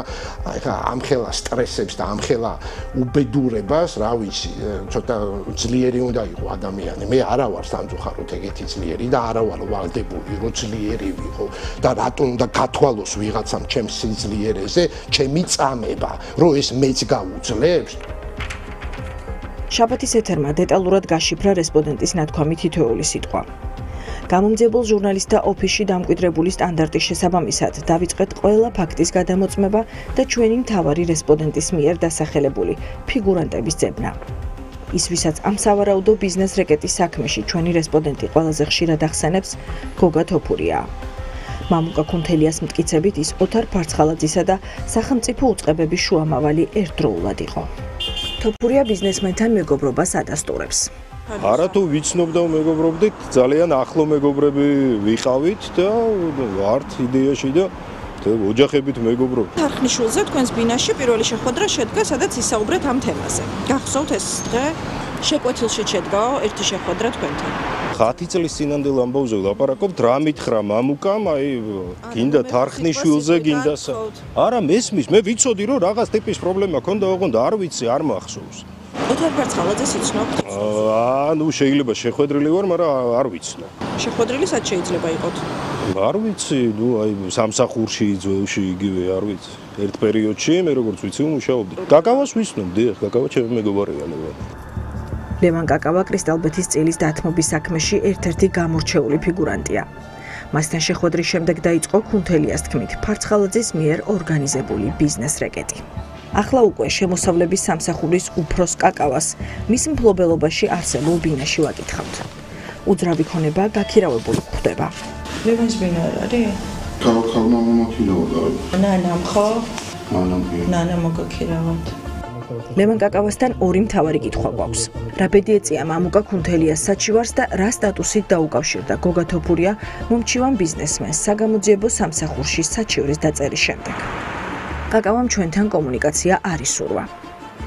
საგამოძიებო სამსახურმა კი შაბათის ეთერის წერილობითი კითხვა უპასუხოდ დატოვა.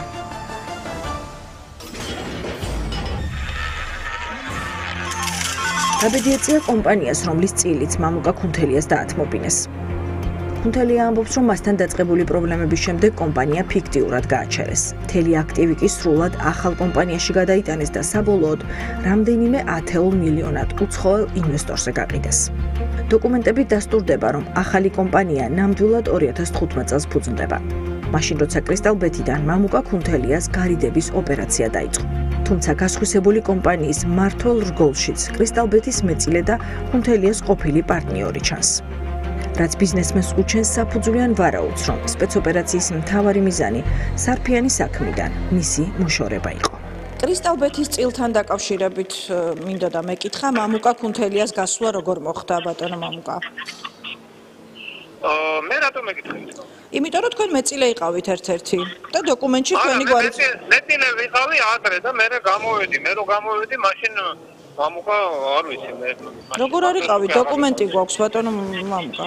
ხო, ну, ვერ გეტყვით, ყოველ შემთხვევაში კომენტარს მაგ თემაზე მე ვერ გასცემ. და ის ამბობს, რომ იძულებით დაათმობინეს წილი, თქვენ არ გაქვთ ამაზე ინფორმაცია? არა, რა სისულელია, ვიცი რომ ტყილია ეგ, არანაირი იძულები და იმითი არ. მილიონი ღირდა, აბა 10%?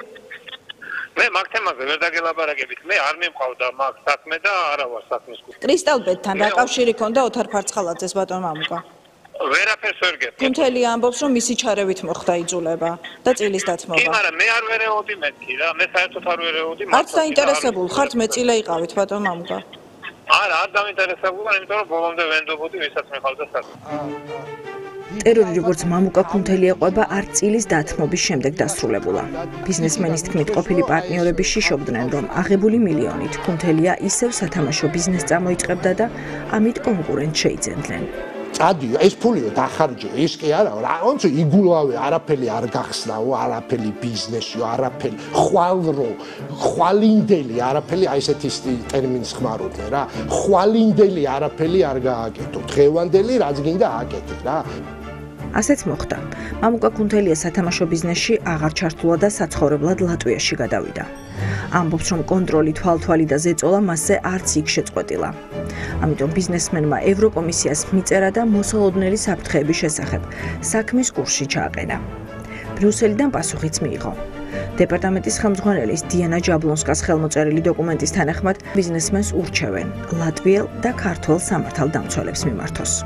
ფოთოლაფარებული ადამიანები რო და დარბოდნენ უпроსწორედ აბორიგენივით მოვარდა გამომგლიჯა და თავის შვილს დაუდო ჭამეო რა აი სხვა რა არის ეს სხვა ვიღაცა მოვიდეს, შევხვდები 1000 ადამიანს, შევხვდები 10000 ადამიანს და ვიმემ სხვა რაკურსით, სხვა პრიზმით, სხვა კუთხით დამანახოს, ჩამომიყალიბოს, დამიფორმულიროს, რომ ეს რამე არის სხვა.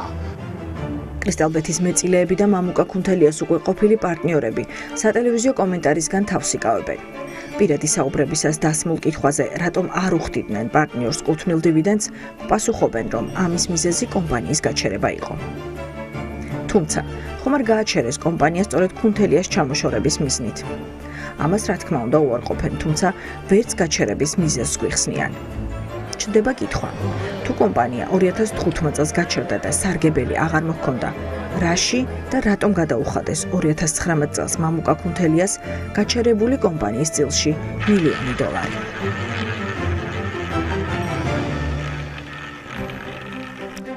გასულ კვირას მთავარ ამბად იქცა თბილისში ოჯახების გამოსახლების პროცესი. როდესაც მათ კერძო მევახშეებისგან აღებული ფული ვერ გადაიხადეს და მათი სარჩელების საფუძველზე ახსრულების ეროვნულმა ბიურომ გამოსახლების პროცესი დაიწყო. ამ ამბავს დიდი უნებათა ღელვა მოყვა და საზოგადოების პროტესტი.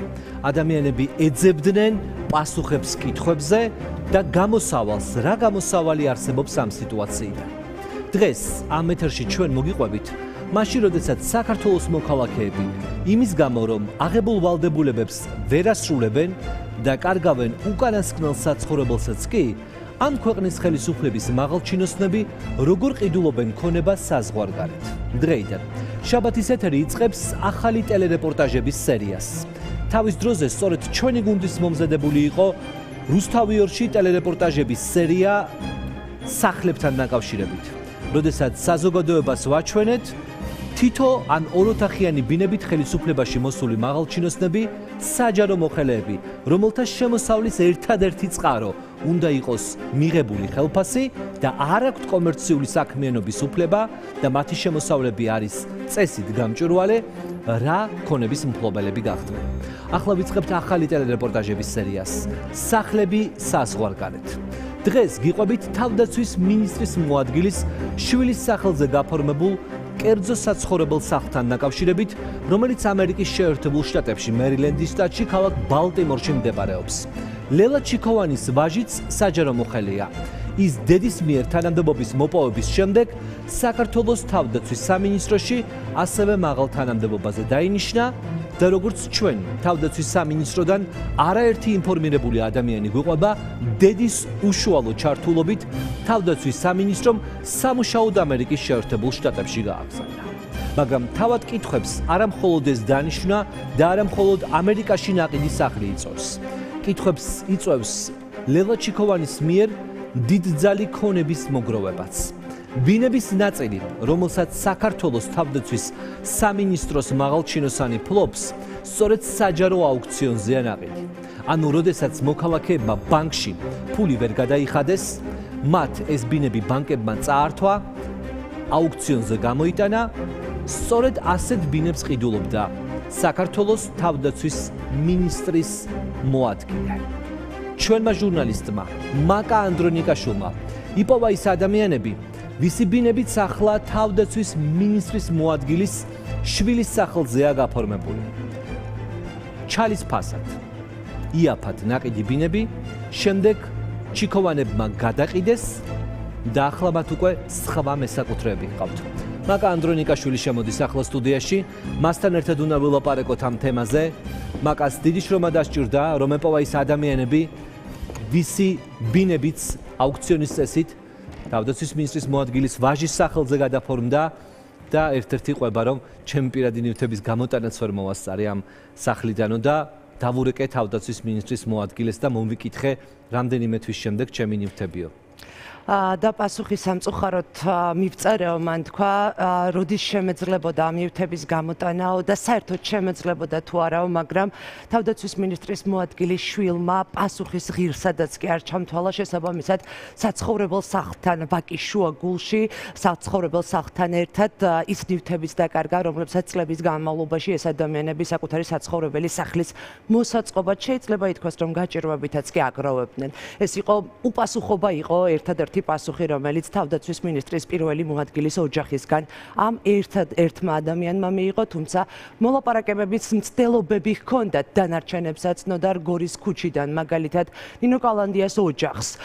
ისინი ცდილობდნენ თვეების განმავლობაში დალაპარაკებოდნენ ჩიქოვანებს და გამოეწყიდათ საკუთარი საცხოვრებელი ფართი, თუმცა მათაც უშედეგოდ ახლა წლებია უკვე ისინი საკუთარი საცხოვრებელი სახლის სარდაფში ცხოვრობენ და ეს სარდაფიც აღარ ეკუთვნით. მათ უბრალოდ სხვა შემსყიდველი მათ კეთილინება გამოიჩინა და ჯერჯერობით ცხოვრების უფლებას აძლევს. მაკა თავდაცვის მინისტრის პირველი მოადგილე ლელა ჩიქოვანი და როგორც სამინისტროს თანამშრომლები გვიყვებიან, უკიდურესად გავლენიანი ადამიანი ამუწყებაში, ირკვევა რომ მან მისი შვილი, მისი ვაჟი დაასაქმა და გრძელვადიანი მივლინებით გააგზავნა თავდაცვის მინისტრს ამერიკის შეერთებულ შტატებში. რა საქმიანობს ბატონი თორნიკე ჩიქოვანი ამერიკის შეერთებულ შტატებში და რა სარგებლობა მოაქვს საქართველოსთვის. შეიძლება პირდაპირ თქვათ, რომ თორნიკე ჩიქოვანის კარიერულ წინსვლაზე ლელა ჩიქოვანმა ჯუანშორ ბურჭულაძის პირველმა მოადგილემ ნამდვილად იზრუნა ჯერის სახელმწიფო უსაფრთხოების სამსახურში, სრულიად ახალგაზრდა 22 წლის ასაკში დაასაქმა, შემდეგ კი უსაფრთხოების სამსახურისთან საკუთარ სამსახურში გადაიყვანა. ახლა მე ხელში მაქვს დანიშნვის ბრძანება რომელსაც ხელს ჯუანშერ ბურჭულაძე აწერს და აქ შავით თეთრზე გარკვევი წერია. ეს არის შეიძლება ითქვას გასაიდუმლოებული დოკუმენტი რომელსაც დიდი ხნის განმავლობაში უწყება მალავდა. თავდაცვის ძალების სამხედრო დაზვერვის დეპარტამენტის სამართლოს უფროსის მოადგილეა თორნიკე ჩიქოვანი და ის გაეროში საერთაშორისო და რეგიონული მშვიდობის უსაფრთხოების განმტკიცების ხელშეწყობის მიზნით გაუშვეს. როდესაც უცხოეთში ასეთ საპასუხისმგებლო თანამდებობაზე აგზავნი ადამიანს სამუშაოდ, მას უნდა გააჩნდეს მინიმუმ საერთაშორისო ორგანიზაციებში მუშაობის მრავალწლიანი გამოცდილება.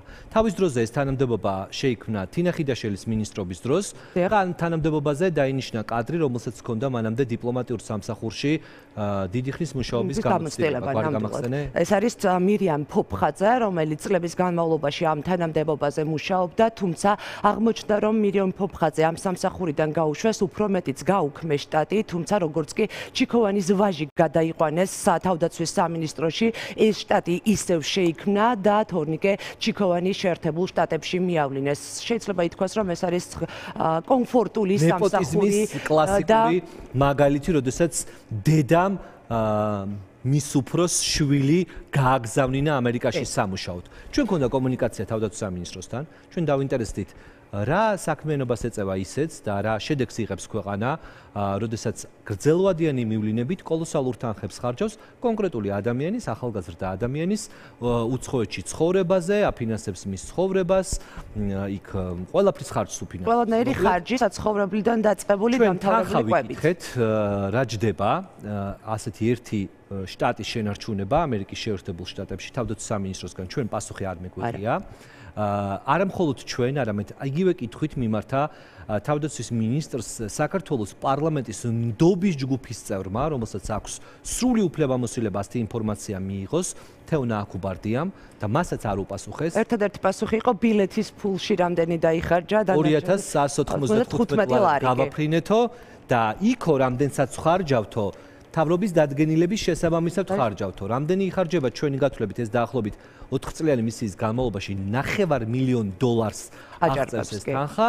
უბრალოდ პარლამენტის წევრსაც არეუბნებიან შედეგ საქმიანობას, ანუ ანგარიშს, რას ეწევა ეს ადამიანი. შეიძლება ჟურნალისტს არ უთხრა და თქვა რომ ეს არის საიდუმლო, მაგრამ პარლამენტის ნდობის ჯგუფის წევრს რომელსაც შეუძლია ჰქონდეს ინფორმაცია საიდუმლო მასალებზე, და მან მიიღოს ინფორმაცია და მიიღოს რწმუნება, რომ ეს არ არის მხოლოდ ministris მოადგილის შვილისთვის შექმნილი სამსახური? სამსახური და მიღებული გადაწყვეტილება, მასაც არაფერს არ ეუბნებიან და კითხები ხალბატონ თეორია გაჩნდა. უფრო მეტიც საწყარო თავდაცვის უწყებიდან გვიყვება რომ თორნიკე ჩიქოვენი ფაქტობრივად სამსახურში არასდროს არ დადის, ის მხოლოდ და მხოლოდ იმ ღონისძიებებზე ჩნდება, რომელზეც შეერთებულ შტატებში იმართება და რომელსაც მისი მშობელი დედა ესწრება ხოლმე. ამ კადრებს ამაყურებელი ჩვენ რეპორტაჟშიც ნახავს. და კიდევ ერთი მთავარი კითხვანო და რომელიც ჩნდება არის ის რომ თუკი ჩიქოვანს საცხოვრებელი საცხოვრებელი სახლი აქვს, მაშინ რატომ უხდის თავდაცვის სამინისტრო თუ კი უხდის როგორც წერს ბრძანებაში ანაზღაურებას და ბიუჯეტიდან ფულს რატომ ხარჯავს მის საცხოვრებელ სახლში? წეს ჩიქოვანის სამუშაო ადგილი ჩვენი ინფორმაციით როგორც წინა შემთხვევაში იყო უნდა იყოს ნიუ-იორკის გაერო შტაბინა, თუმცა ჩვენი ინფორმირებული ადამიანები გვიყვებიან და ამის პრაქტიკული დადასტურება რეპორტაჟში ვნახეთ კიდევაც, როდესაც საქართველოს ელჩიში ვაშინგტონში დავრეკეთ და იქ ჩვენ გვითხრით რომ დაგველოდეთ და მოგაწოდეთ ინფორმაციას ჩიქოვანზეო, გადაწიე, გადაიყვანეს ანუ დისლოკაციის ადგილი, სამუშაო ადგილი გააკეთეს ვაშინგტონი და ვაშინგტონთან ახლოს, დაახლოებით საათნახევრის სავალზეა ბალტიმორი, სადაც ტაუნჰაუსი ძალიან ლამაზი საცხოვრებელი სახლი შეიძინა თავდაცვის ministris მოადგილებ. სახლები უცხოეთში. ნახეთ, ღარიბი ქვეყნის მდიდარი მთავრობის წარმომადგენლები ქონებას აკუჩებენ არა მარტო საქართველოში, არამედ მის საზღვრებს გარეთაც.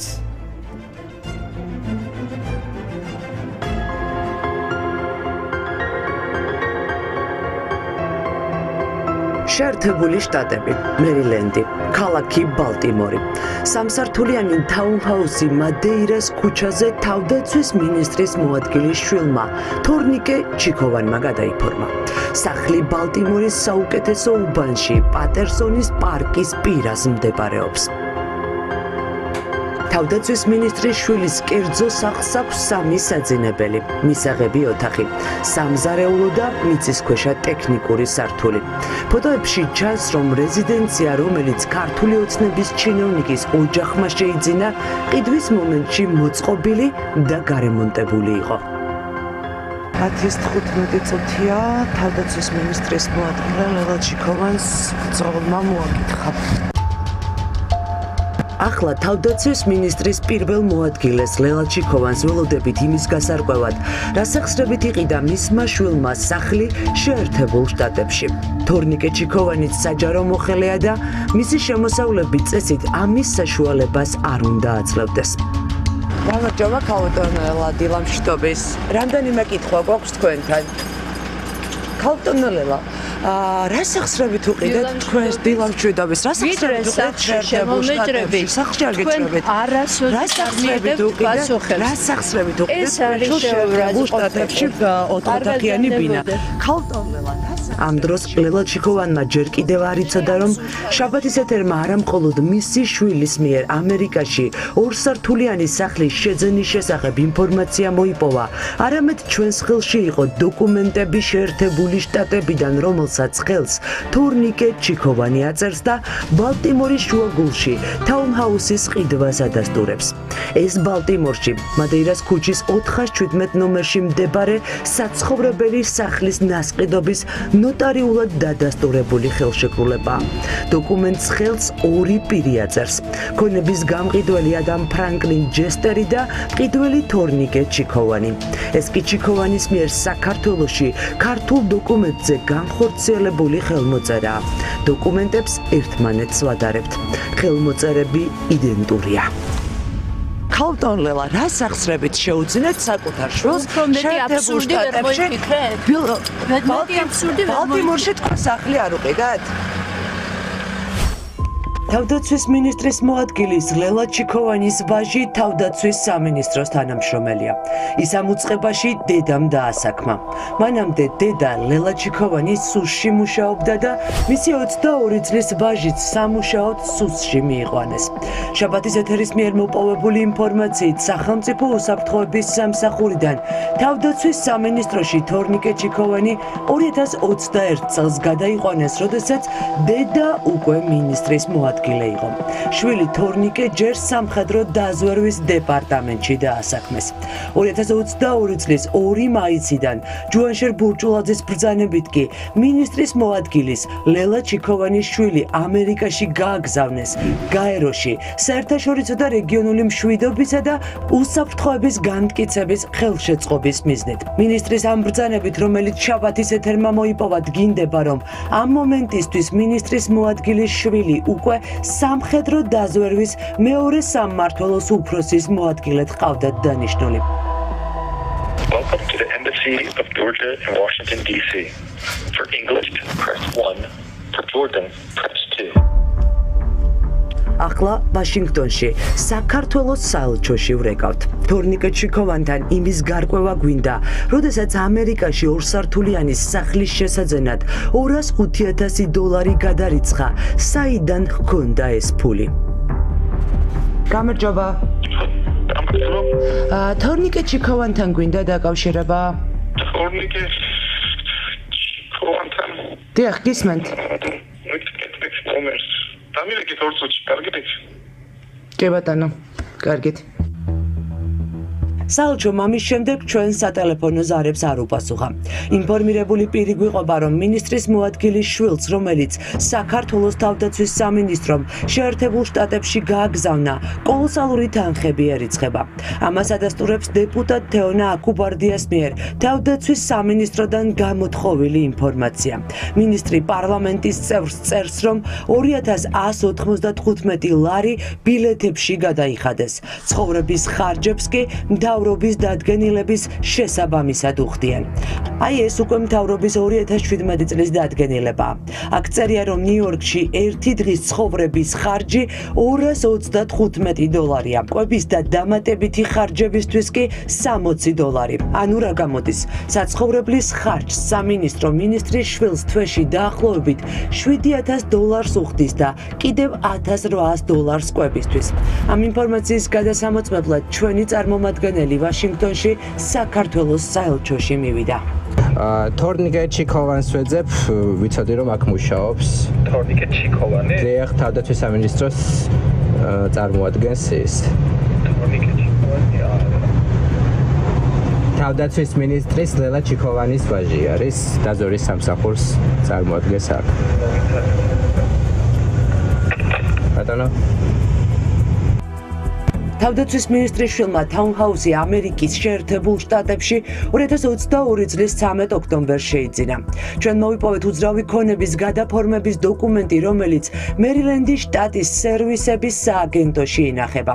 აქ ლელა ჩიკოვანის ვაჟი წერს, რომ ეს რეზიდენცია ბალტიმორში მისი მთავარი საცხოვრებელი ადგილი იქნება. თუ აქ ცხოვრობს, მაშინ რატომ იღებს სახელმწიფოსგან დამატებით თანხას?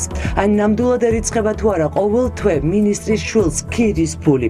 ახლა ლელა ჩიკოვანთან უკვე მისი ვაჟის ხელმოწერილი დოკუმენტებით მივდივართ. კიდევ ერთხელ დილამშვიდობის ქალტონ ლელა გუშინ გაიქეცით და ამიტომ მინდა რომ დღეს გაჩვენოთ დოკუმენტები. ბალტიმორის სახლის შეძენასთან დაკავშირებით შეგიძლია დახედოთ ეს მივარდები. სახში არა კარგად ხვდებით ეს გვარენშილის ხელმოწერა არ არის ქალტონ ლელა. შეუძლებელი ამ როგორ რეჟიმში მუშაობდა კილტოცას მოვა თავდაცვის სამინისტროში. თქვენ ბძანდებით მატყუარა დახედეთ ხელმოწერას ეს თქვენი შვილის ხელმოწერა არ არის თავდაცვის მინისტრის პირველი მოადგილის მიერ 2023 წელს შევსებული დეკლარაციიდან ვიგებთ, რომ ლელა ჩიკოვანმა 2022 წლის 13 მაისს 325000 დოლარის ოდენობის სესხი 4 წლის ვადით აიღო. ამავე დეკლარაციით კრედიტის დიდი ნაწილი 205565 დოლარი ლელა ჩიკოვანმა იმავე წელს დაფარა. ოღონდ ფულის დიდი ნაწილი თანამ სესხებელმა დაუფარა. ვინ დაკონკრეტებული არ არის. რამდენ სუხის ქირაში სთა ბიუჯეტიდან თავდაცვის სამინისტრო შაბათის ეთერს ინფორმირებული პირი უყვება, რომ მინისტრის მოადგილის ვაჟი სამსახურში არ დადის. ის პერიოდულად დედასთან ერთად შტატებში ორგანიზებულ საჯარო ღონისძიებებზე ჩნდება. 2023 წლის თებერვალში თავდაცვის მინისტრმა არლინგტონში უცნობი ჯარისკაცის საფლავი გვირგვინით შეამკო. ჯუანშერ ბურჭულაძესთან ერთად იყო ლელა ჩიკოვანიც. კადრში დედასთან ერთად ჩანს მისი ვაჟი თორნიკეც, ოღონდ მხოლოდ სამახსოვრო ფოტოს გადაღების დროს. დროს. სხვა კადრებში, რომელიც შეხვედრებს ასახავს, თორნიკე ჩიქოვანი აღარ ფიგურირებს. რა საქმიანობს ან რა გააკეთა აქამდე ამერიკაში გაგზავნილმა მინისტრის მოადგილის შვილმა. თავდაცვის სამინისტრომ პარლამენტის ნდობის ჯგუფის წევრ თეონა აკუბარდიას ოფიციალურ წერილზე პასუხი არ გასცა. საზღვარგარეთ არსებულ საქართველოს წარმომადგენლობებში ატაშეებს და სამინისტროს წარმომადგენლებს თავდაცვის სამინისტროს ატაშეებისა და წარმომადგენლობის დეპარტამენტი კურირებს. მისი ხელმძღვანელი ლევან კურცხალია. ყველაზე კარგად მანიცის, რა საქმე ადამიანობს ლელა ჩიკოვანის შვილი და რა თანხა იხარჯება თორნიკე ჩიკოვანის ამერიკაში ცხოვრებისთვის. ალო, გამარჯობა ბატონო ლევან. მე მაკავარ ანდრონიკაშვილი ტევე პირველიდან გირეკავთ. საიდა? ტევე პირველიდან. მაგალ მოხდით? აა, არ მოხდით სხვაგან. თქვენთან გვაქვს კითხვები თორნიკე ჩიკოვანთან დაკავშირებით. გვაინტერესებს? სხვაგან მოხდით, სხვაგან. სხვაგან როგორ მოხდით ბატონო ლევან? თქვენი ნომერია უკაცრავად სირცხვილია თანამდებობის პირი ხართ. პასუხისმგებელმა პირმა როგორც კი გაიგო რომ ჟურნალისტები ვურეკავდით ჯერ იდენტობა უარყო. შემდეგ კი იძულებული გახდა დაედასტურებინა რომ ნამდვილად ლევან კურცხალია თუმცა ჩვენს კითხვებს მაინც არ უპასუხა. ტელეფონი გათიშა და ჩვენი ნომერი დაბლოკა თორნიკე ჩიქოვანთან დაკავშირებით გვაქვს კითხვები. გვაინტერესებს, რამდენია მისი ანაზღაურება და რამდენ სიხდის ბიუჯეტიდან თავდაცვის სამინისტრო მის საცხოვრებელში შეერთებულ შტატებში. რა თქვენს თანამდებობა დაასახელეთ, სწორად დაასახელეთ, მაგრამ ატაშების დეპარტამენტს ხომ ხელმძღვანელობთ? კი ბატონო. წარგზავნილი პირი თორნიკე ჩიქოვანი შეერთებულ შტატებში თავდაცვის სამინისტროს მხრიდან ხომ არის?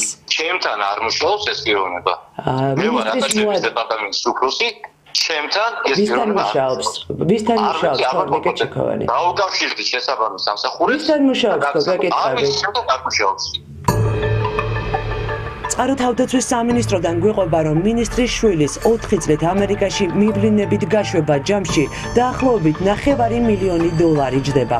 ჩვენი ინფორმაციის გადამოწმება თავდაცვის სამინისტროსთან ვცადეთ, თუმცა ჩვენ წერილს ამ უწყებამ პასუხი არ გასცა. აბა ქალბატონი ლელასთან როგორ ვინ ვინ ვის მიცემენ უფლებას მან შესული შეღწევს? თავდაცვის სამინისტროს საჯარო სამსახურში მუშაობის პერიოდში თავდაცვის მინისტრის მოადგილემ და მისმა ბაჟმა დიდძალი ქონება დააგროვეს. 216 კვადრატული მეტრი ფართობის სახლი ვაკეში ჭავჭავაძის გამზირზე 123 კვადრატული მეტრი გორის ქუჩაზე 119 კვადრატული მეტრი თარხნიშვილის ქუჩაზე 50 კვადრატული ყაზბეგის გამზირზე ეს ყველაფერი 2016 წელს 22 წლის თორნიკე ჩიქოვანმა 4 თვეში იყიდა ერთი და იგივე ხალხი ყიდულობს თანამდებობის პირები. აბა ეხლა უფულო ხალხი როგორ იყიდეს? უფულო ხალხი როგორ იყიდეს? გამშვეობა ხო იცი რომ დიყიდა მაშინ ჩიქოვანმა, მაგრამ ეგეთი სიტუაცია. იმ ხელა სტრესი გადავიტანეთ, რომ დედაჩემს დიაბეტი დაემართა. ხო, ბაითებს ეძებენ, ესეთ უბრალო ბაითებს არ ეძებენ, ძირიანი ისინი მოსწონს. დოკუმენტების შესწავლის შედეგად დგინდება, რომ საქართველოს შეიარაღებული ძალების მაღალჩინოსნის შვილმა ქონება საჯარო აუქციონზე შეიძინა. ეს ის სახლებია, რომელიც ბანკებში გადაუხდელი სესხების გამო ხალხს ჩამოართვეს, გამოასახლეს და გაუყიდეს. ნინო კალანდია ერთ-ერთია, ვინც აღსრულების ეროვნულმა ბიურომ საკუთარი სახლიდან გამოასახლა. მისი ქონებაც თავდაცვის ministris მოადგილის ლელა ჩიქოვანის შვილმა იყიდა. ნინო კალანდია 2016 წლიდან დღე დღემდე ოჯახთან ერთად საკუთარი სახლის სარდაფში ცხოვრობს. და გახდა თაღლითების მსხვერპლი. კერძო იპოთეკა ჰქონდა. ბიზნეს პარტნიორმა გადააგდა. მამულაშვილმა, ნარკობარიკა. იქიდან დაიწყო მთელი უბედურება. მე როგორც ხდება აუქციონებში ჩვეულებრივი ადამიანები ვერ ყიდულობენ ეგეთ კარგ ძვირიან უძრავ ქონებებს და ყიდულობენ რა თქმა უნდა თანამდებობის პირები. მაშინ დედაჩემ ოკუპანტი ეძახა, სასამართლოსეც კი ოკუპანტი და გალანცხა სასამართლო რო იყო მეში. სასამართლოზე დადიოდა ლელაჩიკო. ადვოკატი მისი, ცნობილი ადვოკატი ხო და ვიღაც. ეხლა თქვენ ისეთი გადაცემა გააკეთეთ რომ ხალხი ესე ქუჩაში არ დარჩეს. მილიონებს რო ჭამენ და ხალხს რო აუბედურებენ და რო აწევლინებენ თავს არის შინია თქვენი ის 123 კვადრატული მეტრის საცხოვრებელი ფართი გორის ქუჩის 3 ნომერში თორნიკე ჩიქოვანის სახელზე 2016 წლის 15 თებერვალს გადაფორმდა. დოკუმენტების მიხედვით კალანდიების სახლი აუქციონზე ჩიქოვანმა 91000 ლარად იყიდა. დაახლოებით ერთ თვეში 29 მარტს ჩიქოვანის სახელზე აღმოჩნდა 50 კვადრატული ყაზბეგზე. 7 აპრილს შეიძინა იძულებით აღსრულების აუქციონზე სახლი ვაკეში 216 კვადრატულ მეტრ ბინაში, რომელიც ჭავჭავაძის გამზირზე მდებარეობს, მაღალჩინოსნის შვილმა 255.000 ლარი გადაიხადა. ამავე პერიოდში დაკარგეს სახლი თარხნიშვილის ქუჩაზე, მანანა ჭიღლაძემ და ნინო გოგიჩაიშვილმა. საცხოვრებლის გარეშე დარჩენილს ემიგრაციაში წასვლა მოუწია.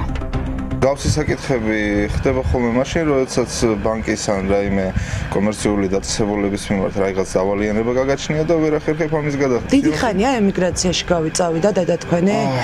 დაახლოებით 4 წელი, ა პლუს მინუს რა იქნება. 4 წელია რაც ემიგრაციაში წავიდა. ადამიანები, რომლებმაც საკუთარი საცხოვრებელი სახლები დაკარგეს, ამბობენ, რომ სავარაუდოდ საქმე დიდ გარიგებასთან გვაქვს. ჩინოვნიკებმა წინასწარ იციან იძულებით აღსრულების აუქციონზე გასატანის სახლების შესახებ და ქონებას ჩალის ფასად იგდებენ ხელში. ასე მოხდა სავარაუდოდ ჩიქოვანების შემთხვევაშიც. აი იმიტომ რომ ვიცი რომ ბევრი აი ესეთები იყო არ გამოვრიცხავ იმ ფაქტს რომ იქ იყო რაღაცა სქემა და შეთანხმებები. მით უმეტეს რომ მე არ ვიცი ალბათ გაქვთ ეს ინფორმაცია მაგრამ თორნიკეს დედა იყო მაშინ ministris მოადგილე და ეხლა ministris ახლა ministris მოადგილე. ამიტომ მას ალბათ ხელეწიფებოდა ასეთი რაღაცების გაკეთება ბინის მეპატრონეები გვიყვებიან, რომ თავდაცვის ministris მოადგილეს აუქციონზე გაყიდული მისი ბინის დათმობას თხოვეს. უთხრეს, რომ ქონების გამოსასყიდად მზადარიან, თუმცა ლელო ჩიქოვანმა უარი თქვა. თხოვე რომ თუ გინდა მოვილაპარაკოთ რამეზე მეთქი და მე მას ვიზავთქო გამოვისყიდე მეთქი, ნუ მაშინ უარი მივიღე, ერთადერთი ის იყო რაღაცა დრო რაღაცა ორი თვე იყო, სამი თვე იყო, მოვითხოვე რომ მოსადმე გადავიტანოს ყველაფერი მეთქი ვერ მოვახერხე. რამდენჯერმე დაურეკე, რამდენჯერმე მივწერე რომ უბრალოდ მითხარი. დარჩა ჩემი ნიერთებიდან რამე თუ არა, კონდეს ამის იმედი თუ არა, მეტი არ პრეტენზია არ მაქვს, თქო და პასუხის ღირსათაც არ ჩამთვალა. აი ეგ იყო მხოლოდ. მოქალაქეებისთვის იწულებით ჩამართმულ ქონებას თავდაცვის მინისტრის მოადგილის შვილი ჯერ აღსრულების ეროვნული ბიუროსგან საბაზროზე ბევრად იაფატყიდულობს, შემდეგ კი სარფიანად ასხვისებს. თორნიკა ჩიქოვანმა უკვე გაყიდა სახლი თარხნიშვილზე. მის საკუთრებაში აღარ არის არც სახლი გორის ქუჩაზე. ის ჩიქოვანმა კომპანია GMC-ს ბლობელს მიჰყიდა. გაქცევა მშობლიური პარტიიდან. ქართული ოცნების სამსახურში ყოფნა სულ უფრო ნაკლებ ადამიანს უნდა. მით უმეტეს, როდესაც პარტია ავალებს, რომ ქართული ოცნების რიგები უნდა დატოვონ და ხალხის ძალის რიგებში უნდა გადავიდნენ.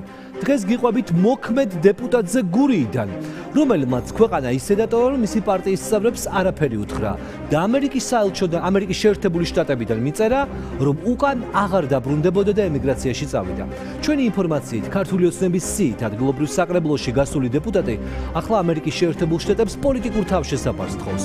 როდესაც თქვენ ითხოვთ პოლიტიკურ თავშესაფარს ამერიკის შეერთებულ შტატებში, უნდა დაასაბუთოთ, ვინ გდევნით ქვეყანაში და რატომ უნდა მოგცენ თავშესაფარი ამერიკაში.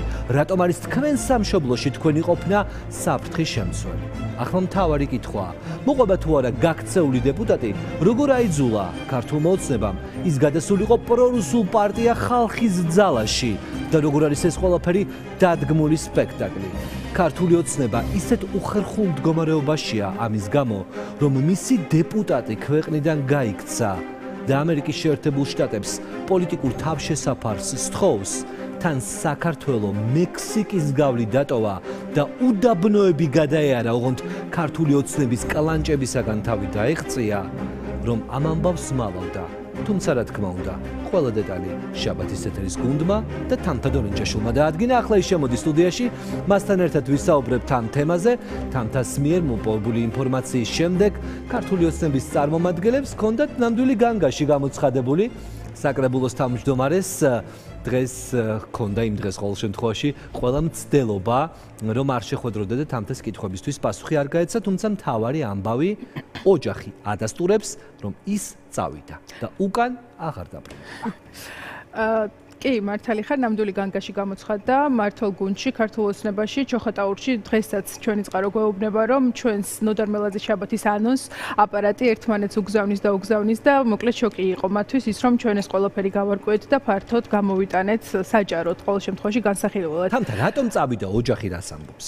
ოჯახი ამბობს რამდენიმე ვერსიას ამბობს, მაგრამ ყველაზე მართალი მათ მე მგონია ბატონი კოტი, ანუ გაპარული დეპუტატის მამა, რომელიც ამბობს, რომ შეუსრულებელი დაპირებების გამო, იმ დაპირებებით რითაც ის მოვიდა ხელისუფლებაში და გახდა სამი სოფლის მაჟორიტარი დეპუტატი, რომ ვერ შეასრულა ეს დაპირებები. პრობლემა ქონდა ადმინისტრაციასთან, პრობლემა ქონდა მართლ გოლთან მერიასთან. ამის შემდეგ ხალხი მას თხოვდა პასუხს, რომ სად არის ის დაპირებები, რომელიც გაეცი და რატომ არ გვისრულებო? დაიღალა და გაიქცა ქვეყნიდან. კი, დაიღალა და ხალხს დაემალა და გაიქცა ქვეყნიდან. ეს არის ერთადერთი პასუხი და ამაზე საუბარს არცერიდება ყოველ შემთხვევაში გაქცეული დეპუტატის მშობელი. ნუ ყოველ შემთხვევაში ის მისი ოჯახის წევრები ამბობენ, რომ იმისათვის წავიდა ეს ადამიანი ადამიანის შტატებში მექსიკის გავლით გადამყვანის საშუალებით რომ უკეთ გაიუნჯობესონ ეკონომიური მდგომარეობა ესეც ერთ-ერთი ვერსიაა წარმოგიდგენია დეპუტატი მართველი პარტიიდან რა მდგომარეობამდე მიიყვანა ეს რომ იპოვა შუამავალი მოაქუჩა ფული გადაუხადა ათასობით დოლარი და არჩეული დეპუტატი გარანტირებული სამსახურით მანდატით გაიქცა ამერიკის შეერთებულ შტატებში და თან იქ ახლა პოლიტიკურ თავშესაფარს ითხოვს, რომელი ამბავიც მან შენთან წერილობითი კომუნიკაციის დროს არ უარყო. ქართულ ოცნებას იმდენად არაწყობდა ამ ამბის გახმაურება, რომ დეპუტატმა წერილი გამოუგზავნა წავედიო. წერილი გამოუგზავნა მას შემდეგ, რაც ჩავიდა შტატებში, ყოველ შემთხვევაში ბატონი მიხეელი ჩვენ ამას გვიდასტურებს, მან აცნობა საკრებულოს ოფიციალურად მისი შტატებში ჩასვლის შესახებ, რაც ლოგიკურად იმას ნიშნავდა, რომ მისთვის მანდატი უნდა შეეჩერებინათ, მისთვის შეეჩერებინათ კუთვნილი არასღაურება, სადეპუტატო ხარჯი, ესე წერია ყოველ შემთხვევაში კანონში და ასევე მესამე ის რომ გამოეცხადათ იმ სამ სოფელში ვადამდელი არჩევნები. არაფერი არ გაუკეთებიათ, საერთოდ არაფერი. 4 თუ ეს ადამიანი გამგრალია საკრებულოში. ვითომ დეპუტატია? ვითომ დეპუტატია, ვითომ ასრულებს. ოღონდ ამბავი არ გახმაურდეს რომ გაიქცეთ ამერიკაში. ხო, ვითომ დეპუტატია, ვითომ ასრულებს თავის მოვალეობას, ვითომ ხელფას უხდიან, მაგრამ ნუ არა. ხელფას რეალურად უხდიან, ფულს ურიცხავენ. ხელფას უხდიან. ფულს ურიცხავენ, ეს ეს დადასტურებული. ნუ ხელფასი არ ქვია, მას ქვია სადეპუტატო ხარჯი. რომელსაც აძლევენ არჩეულ დეპუტატს იმისთვის რომ შეხვდეს მოსახლეობას და ეს ხარჯი ხარჯი გაწევს, მაგრამ ეს დეპუტატი ხა ამერიკაში ნიუ-იორკში ვერ შეხვდება გურულებს, ხომ? იქ ვერ გაწევს სადეპუტატო საქმიანობას. არც ეყოფა ხა ბრუკლინში ხარჯი, რომ რაღაცა ყოფითი პრობლემები მოიგვაროს. მოკლედ, როგორ ხდის მართველი პარტია მისავე წევრებს, რომ ქვეყნიდან გაიქცნენ და სხვაგან პოლიტიკური თავშესაფარი ითხოვონ? თამთადოლინჯაშვილი გურიიდან გიყოლათ.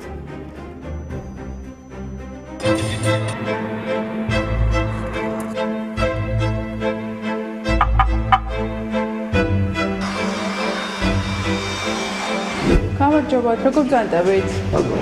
ბატონი მიხეილ თავართქილაძე სად არის რომ მითხრათ? როდის ნახეთ ბოლოს? ბოლოს ალბათ ერთი თვის წინ. ერთი თვის წინ დარწმუნებით შეგიძლიათ მითხრათ რომ ნახეთ? ეს ჩოხატაურის საკრებულოს თავმჯდომარის პირველი მოადგილეა. ახლა ზაალ მამალაძე ცრუობს, როდესაც გვეუბნება, რომ საკრებულოს წევრი უმრავლესობიდან მიხეილ თავართქილაძე მანამ საკრებულოს შენობაში ერთი თვის წინ ახა. შაბათის ეთერის ინფორმაციით, მართველი გუნდის წევრი ამერიკის შეერთებულ შტატებში სამი თვის წინ წავიდა და იქ პოლიტიკურ თავშესაფარს ითხოვს. განცხადება იმეილი მიიღეთ თანამდებობრივი უფლებამოსილების შეჩერებასთან დაკავშირებით. რატომ მოყვებით? გეკითხებით. შეუჩერეთ თუ არა უფლებამოსილება მიხეილ თავართქილაძეს? როდი შეუჩერეთ? რაღაც შეუჩერეთ. ამერიკა თვის ვადა აქვს ადამიანს. ჯერა შეგიჩერებიათ ვადა? ექვსი თვე შეუძლია საკრებულოს წევრს არ იყოს აცლობებს. მოგწერათ მეილი მან ამერიკიდან? ჩემთვის რატომ უნდა მოეწერა? ჩოხატაურის რაიონის საკრებულოში მიხეილ თავართქილაძე ქართული ოცნებიდან აირჩიეს. შემდეგ კი ის პარტიამ ხალხის ზალაში გადაიყვანა. სწორედ ამის შემდეგ გაიქცა ქვეყნიდან მექსიკის გავლით მართველი გუნდის დეპუტატი. ხელისუფლება ამ სკანდალის დამალვას ისეთ ცდილობს, რომ თანამშრომლებსაც არეუბნება და ქვეყნიდან წასულ დეპუტატს ფულს ანუ სადეპუტატო უფლებამოსილების ხარჯს დღემდე ურიცხავს. ხელფასი ამ დრომდე ერიცხება მას როგორც ვიცით. ადამიანი სამსახურში არ დადის. საკრებულოს წევრია ის. ხელფასი ერიცხება. ხელფასი ერიცხება საკრებულოდან მას. ხელფასი არ აქვს. ხელფასი არ აქვს, თუმცა დეპუტატებს ერიცხებათ თანხა სადეპუტატო უფლებამოსილებისათვის. არადა ქართული ოცნების დეპუტატი ამ უფლებამოსილებას ამერიკიდან ვერ განახორციელებს. შესაბამისად, ფული იფლანგება. თქვენ ხელფასი მის ანგარიშზე როდის გადაარიცხეთ ბოლოს? კი, საკრებულოს თავმჯდომარის მოადგილებ ზანტებით. დიახ. მე თქვენ კანონში ვიცით რომ 6 თვე შეუძლია ადამიანს არ ხო საკრებულოში. საერთოდ გაიქცა ამერიკაში? ამერიკაში რატომ გაიქცა ტიხუანას გავლით? ბატონი მიხელ თავართქილაძე. არ ვიცით ამერიკაში თუ არა. თქვენ იცით? რატომ გაიქცა გეკითხებით? თქვენ იცით ამერიკაში რა? გეკითხებით, თქვენ მან მოგწერათ რომ გაიქცა. კი, ვიცით. საპატიო მიზეზი აქვს ბატონო. გეკითხებით, აქვს თუ არა საპატიო მიზეზი ადამიანს? კითხვა ვიცით, ამიტომ ფაქტია რომ თვითმართველობის კოდექსი კოდექს თავად ჩოხატაურის საკრებულოს უმრავლესობა არღვევს. ის ვალდებულია პირის პირადი განცხადების საფუძველზე პირს სამსახურეობრივი უფლებამოსილება შეუჩეროს. თუმცა მოქმედი დეპუტატის ამერიკაში გაქცევის ამბის გახმაურება ისე არ უნდათ, რომ სამართლებრივი პროცედურები არ დაიწყეს. უნდა წავიდნენ? რატომ? თუ აბსოლუტურად უნდა წავიდნენ. რატომ? რატომ უნდა ქონდეთ ახალგაზრდებს საქართველოსში სურვილი რომ ამერიკაში გადავიდნენ საცხოვრებლად? სამუშაო შოუს სრულია. აქ არ არის სამუშაოები? ხო, აქაც არის სამუშაო. ხო, იქ უნდა ჩემი სამუშაოა. ხო, სამუშაო. თუ პრობლემა არ არის. ვისაც სადაც უჩემი სამუშაო. ბატონი მიხაილი? არა, არ გითხრა რა. არ ვიცი მე თქვი და რა უნდა გითხრა, ხო, მეკითხები და არ ვიცი. იქ ერჩივნა ცხოვრება? არ ვიცი. უბრალოდ მე მაინტერესებს რა გაუჭირდა საკრებულოს დეპუტატს ესეთი რომ მექსიკის გავლით გაიქცა ამერიკაში. მართლ პარტიას რეგიონებში ხალხის შენარჩუნება უჭირს, სისტემა იშლება. როდესაც არჩეული დეპუტატი, რომელსაც ვადის ამოწურვამდე 2 წელი ჰქონდა ქვეყნიდან გაიქცევა, ეს ადგილობრივი ოპოზიციისთვის უკვე სიმპტომია, რომ ლიდერებს მართვის სადავეები ხელიდან გაექცათ. გამარჯობა ბატონებო. ბოლოს როდის ნახეთ ბატონი მიხელ თავარქელაძე მაინტერესებს. საწავიდა. როგორც ვიცი ამერიკაში. და რატომ წავიდა? კი, არ ვიცი რატომ წავიდა. ალბათ გაუსაზრესი მდგომარეობა ქვეყანაში რაც არის. ეკონომიკური სიძულვირა და ასე შემდეგ. რატომ მიდიან ამერიკაში? ისე წავიდა ამერიკაში, რომ თან ხელფასი ერიცხება და თან უფლებამოსილება არ შეჩერებია? აა, დიახ, როგორც ჩანს. საკრებულოში ახლა დიდი დაბნეულობა. აპარატის თანამშრომლები, რომლებიც ქართული ოცნების დეპუტატები არიან, ცდილობენ კამერების წინ არ დაადასტურონ, რომ მოქმედი დეპუტატი ქვეყნიდან გაიქცა და თან ისე რომ წინასწარ არავისთვის არაფერი უთქვამს და ვიდრე მექსიკის უდაბნოს გავლით ამერიკაში არ ჩააღწია, არავინ არაფერი იცოდა. 30 ოქტომბრის საკრებულოს თომას ესწრებოდა, ნოემბერი-დეკემბერი არ დასწრებია სხდომას. და ნახავთ ახლა თუ მომდენო სხდომაზე მოხდება მისი გამოცხადება და დასწრება. მისესი რა არის? ოფიციალურად არ არ მოუმართავს საკრებულოსათვის არც პირადი განცხადების საფუძველზე და არც რაიმე სხვა შეტყობინებით. თუ აპარატის უფროსის ნათქვამს დავუჯერებთ ამ პერიოდის განმავლობაში გაუჩინარებული დეპუტატი არც არავის მოუკითხავს და არავის გადაუმოწმებია მისი ადგილსამყოფელი. დაინტერესდით საერთოდ ამ საქმის შესწავლით 4 თვე გავიდა ადამიანის სამსახურში არ ყოფილა. ვინმე დაინტერესდა? საწავიდა ეს ადამიანი საკრებულოს აპარატი ვერ დაინტერესდება მისი უფლება მოსილების შეჩერება. და მე კიდევ გიმეორებ და აპარატს ხო ეხება ბატონო? არ ეხება აპარატი უფლება მოსილებას ვერ შეუწყეთ ჩემო საკრებულოს ხდომაზე შეუწყდება საკრებულოს საკრებულოს წევრების გადაწყვეტილება. მესმის მანამდე კიდევ ერთხელ გამეორდები ეს საკითხი ვინ უნდა დააყენოს. უფლებამოსილი საკრებულოს თავმჯდომარე. 6 თვის გავლის შემდეგ სამანდატო საპროცედურო კომისია თავადვე იმუშავებს ეს არის პირდაპირი დანაშაული და ამ დანაშაულის მონაწილე არის ყველა ის ადამიანი ვინც კონკრეტულად პროცესში არის მონაწილე. საკრებულოს თავმჯდომარედ დაწყებული იმ ასე თქვათ თუ რა ქვია ფინანსური სამსახურის წარმომადგენლის დამთავრებული რომელიც უშუალოდ გადარიცხვებს ახორციელებს. რეალურად რასთან გვაქვს საქმე? ადამიანმა რომელმაც მიატოვა საკუთარი უფლებამოსილება რომელიც წავიდა ქვეყნიდან სახელმწიფო ყოველთვიურად უხთის ანაზღაურებას. რა წარმოუდგენელი ამბავია, ასეთი რაღაცა მხოლოდ და მხოლოდ ქართული ოცნების მართლობის პერიოდში თუ შეიძლება მოხდეს.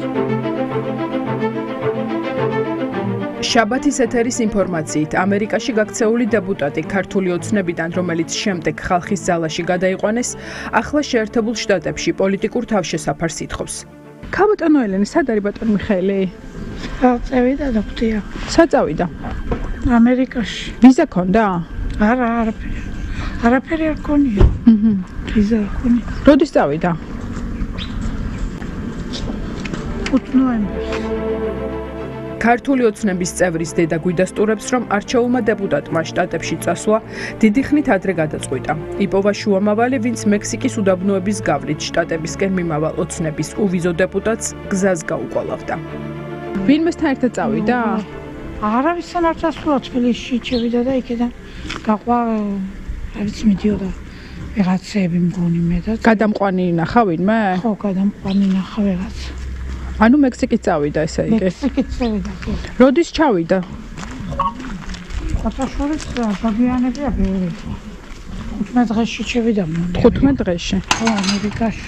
15 დღეში ჩევიდა უთი რა? ავიცი ახლა 15 დღეში ანუ იქ მოუწია წინასწარ თქვა იზოლატორში ყოფნა? კი, კი, კი. კი, ყველაფერი გაიარა. თული გზა გაიარა ალბათ, ხო? თული გზა გაიარა, წყლით გადევიდა. წყალი გადალახა და დინარე, ხო? რისთვის წავიდა ამერიკაში ეს მაინტერესებს ანუ რამე პრობლემები ქონდა აქ რანაირი პრობლემა უბრალოდ ფინანსურად გვინდოდა ეკონომიკურად წინ წავსულიყავი და მაგით კამერების წინ ერთადერთი ვინც შვილის გაქცევის მიზეს არ მალავს დეპუტატის მამაა ამბობს რომ ადგილობრივი ხელისუფლება ხალხზე არ ფიქრობდა რის გამოც გაბრაზებული მოსახლეობა პასუხს დეპუტატს თხოვდა. როდესაც ვერაფერს გახდა და ერთმა დეპუტატმა სისტემა ვერ შეცვალა გაიქცა. ამასაც გეტყვი თუ გინდა გასულ არ მეშინია მე არც არის მის არ სოფელში რაც გასაკეთებელი იყო და რო ვერ მოახერხა იმისი გაკეთება ფიზიკურად ხო? და ხალხი რასაც თხოვდა იმას რო ვერ მიაღწია დაწყებული ადგილობრივი მთავრობიდან იზოლებული გახდა რომ ხალხის და დამალოდა და წავიდა. დამთავრდა აი ამ ბოლო-ბოლო ყველაფერი დეპუტატი, რომელიც მისივე პარტიის შეუსრულებელმა დაპირებებმა იძულებული გახადა ქვეყნიდან გაქცეულიყო, ახლა შტატებში დაქირავებული ადვოკატების საშუალებით ამზადებს საბუთებს, რომ პოლიტიკური თავშესაფარი მიიღოს. საბუთების ნაწილში დაიწყო მოგვარება მოწესრიგება. ჯეჯერობით არა. ბაცი დაიწყოს ყველაფერს. ნელ-ნელა გააკეთებს ყველა. რა საქმიანობაზე შეიძლება დაასაქმდეს ახლა ისე? არ ვიცით, არაფერი, რაც გამოჩნდება და მისთვის რაც უკეთესი იქნება, იქ წავა. ვინ ინახავს ახლა ქალბატონო მარი? ვინ ინახავს? თვითონ ინახავს თავს, კაცო იქ. მეგობრები წავს თვითონ იქ ამერიკაში. ადგილობრივი ოპოზიციის მტკიცებით ახლა ამ ამბის გახმაურება ივანიშვილის პარტიისთვის ჩოხატაურში ნამდვილი დარტყმა, რადგან დეპუტატის ქვეყნიდან გაქცევით ქართულ ოცნებას ახალი თავსატეხი გაუჩნდა. დეპუტატის ამერიკაში გაქცევის შემდეგ რთული დასარწმუნებელი იქნება ადგილობრივი ამომრჩეველი მის სამაჟორიტარო ოლქში, რომ რიგარეში არჩევნებზე ხმა ისევ ქართულ ოცნებას მისცეს. მას შემდეგ, როდესაც მას ოფიციალურად შეუჩერდება უფლებამოსილება, გამოცხადება რიგარეში არჩევნები და ესეც, ასე ვთქვათ, ესეც საინტერესო ფაქტია, რატომ მალავე მთელი ამ დროის განმავლობაში, რაც უფრო მეტი დრო გავა, უფრო გვიან მოუწევთ არჩევნების ჩატარება და შეეცდებიან მათთვის საუკეთესო დრო შეარჩიონ არჩევნების ჩასატარებლად და გარდა ფინანსური ინტერესებისა, როგორც ჩანს, ცდილობენ რომ შეუფლებამოსილება შეუჩერონ მაშინ, როდესაც უკვე მზად იქნებიან ახალი, ასე ვთქვათ, რიგარეში არჩევნების ჩასატარებლად. არა, არის საკრებულოს თავმჯდომარე? არა, ტელევიზიაზე გავიდეს უსწრას. და იმის შემდეგ აღარ დაბრუნებულა. შეიძლება დაბრუნებულა ახლა საკრებულოს თავმჯდომარეს ვეძებთ. მისი მოვალეობა იყო ხალხისთვის. არჩევნების წინ მიცემული დაპირებების შესრულება. დეპუტატი ძიძულებით ემიგრაციაში იმის გამო წავიდა, რომ მისავე პარტიამ ხალხთან შეერცხვინა და რასაც დაპირდნენ არ შეასრულეს. მას შემდეგ, რაც ირაკლი კუჭავამ გაიგო, რომ მას ვეძებთ, იმ დღეს სამსახურში საერთოდ არ მოსულა. დილი სამსახურში არ იყავით ბედნიერი ირაკლი? არ ვარ მეთქი გეუბნება, თქვენ დაგემალებით, ეხლა მაკლია. ხო და მაგლია თქვენ დაგემალოთ. იმედია არ მემალებით. როგორ კადრულობ ატყვილს? კარგი, შეხვდეთ საღამოს, არ არის პრობლემა, დაგირეკავთ ერთ საათში. დღეს საღამოს მეთქვეთვის არცალია. აი, ნახოთ, ნახოთ, დაგირეკავთ აუცილებლად. საკრებულოს თავმჯდომარე არ შეგვხვდა, თუმცა შაბათის ეთერი ჩოხატაურიდან ამერიკაში გაქცეულ დეპუტატთან კავშირზე გავიდა. მიხეილ თავართხილაძემ დაგვიდასტურა, რომ ჩოხატაურის საკრებულოს ამერიკაში ჩასვლისთანავე შეატყობინა მისი უფლებამოსილების შეწყვეტის მოთხოვნით, რაც ავტომატურად ნიშნავდა იმას, რომ საკრებულოს შესაბამისი პროცედურები უნდა დაეწყო და მასთან თანამშრომლობა გაეწყვეტა. ბატონო მიშა, ამერიკაში თავშესაფარს რომ ითხოვთ, დევნას რითი ადასტურებთ? მაგ კითხვაზე არ გიპასუხებთ უკაცრავად. რატომ გაიქეცით ქვეყნიდან? არ გაუქცეულ ვარ, წავედი. უდაბნოს გავლით ამერიკაში გადასვლას გაქცევა არ ქვია? არა, როცა სხვანაირად ვერ ახერხებ. საკრებულოს როდისაც ცნობეთ, რომ ქვეყანა დატოვეთ? როცა ჩამოვედი. ანუ დგინდება, რომ საკრებულოს დეპუტატის განცხადების მიუხედავად ივანიშვილის გუნდმა ეს ფაქტი საგულდაგულო დამალა. ახლა მთავარი ინტრიგაა რა ფაქტებს დაასახელებს ამერიკაში ოცნების ყოფილი წევრი, რომელიც ხალხის ზალაში გადავიდა და გახდება თუ არა პოლიტიკური თავშესაფრის მოთხოვნის მთავარი მიზეზი, მისი იძულება, რომ პრორუსულ ხალხის ზალაში გადაეყვანათ.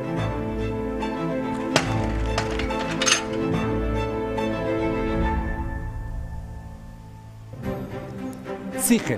ამჯერად გიყვებით არასულწლოვანთა ციხეზე, სადაც სასჯელს 18 წელს მიუღწეველი პირები იხდიან.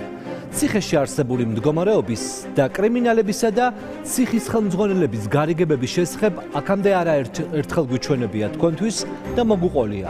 თუმცა დღეს ნატა ქაჯაიას ყურადღების ეპიცენტრში მოექცა არასრულწლოვანთა სასჯელ აღსრულების დაწესებულება, სადაც ხვდებიან ახალგაზრდები, რომლებსაც ჯერ 18 წელი არ შესრულებიათ. მსგავსი ტიპის დაწესებულებებში წესით ხელისუფლება დღეს და ღამეს უნდა ათენებდეს იმისთვის, რომ ამ თაობის რესოციალიზაცია მოახდინოს და არ მოხდეს მათი კრიმინალური მენტალიტეტის გაღვივება და მათგან კიდევ უფრო მძიმე დანაშაულისაკენ სწრაფველი ახალგაზრდა თაობის ზრდა. თუმცა ირკვევა, რომ ციხეებში ყველაფერი პირიქით ხდება. არასრულწლოვანთა დაწესებულებაშიც ჩვეულებრივად ყავთ მაყურებლები, როგორც სხვა ციხეებში და ციხის ადმინისტრაციის ხელმძღვანელები მათ აძლევენ ჩვენს მიერ მოპოვებული ინფორმაციით საშუალებას, რომ მობილური ტელეფონით კავშირზე იყვნენ სხვა ციხეებთან და იქიდან მიიღონ დირექტივები. სავარაუდოდ საქმე ეხება დიდ დანაშაულს, რადგან ამ ციხეში პატიმართან ნაწილის ანგარიშებზე ირიცხება დიდი ოდენობით თანხები, რაც სავარაუდოდ სხვა არასრულწლოვანი პატიმრების რეკეტის შედეგად მოპოვებული ფულია.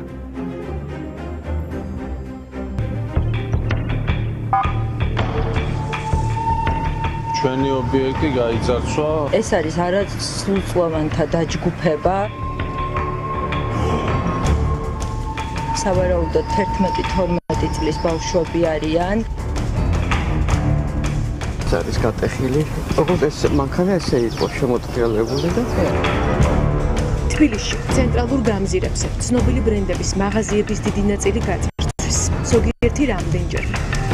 მიაქვთ რაც ხელში ხვდებათ. ჯგუფს, რომელიც უმეტესად 3 ან 4 არასრულწლოვანისგან შედგება, რამდენიმე წამი სჭირდება, რომ მაღაზიიდან გაიტანოს სასურველი ნივთები. სადმიდის ნაკურდალი ნივთები და ფული.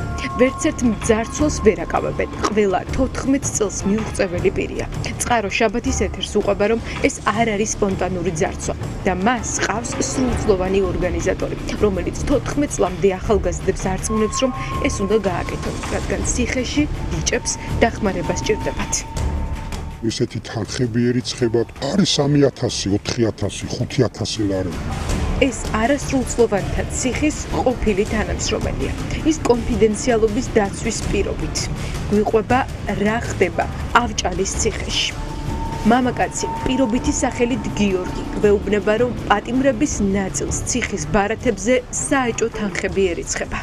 ეს ისეთი თანხებია, რომ იმ არასრულწლოვან პატიმარს მაგხელა თანხა არ ჩაერიცხება ოჯახიდან. მეორე უმეტესობა არის გაჭირვებული ოჯახებიდან.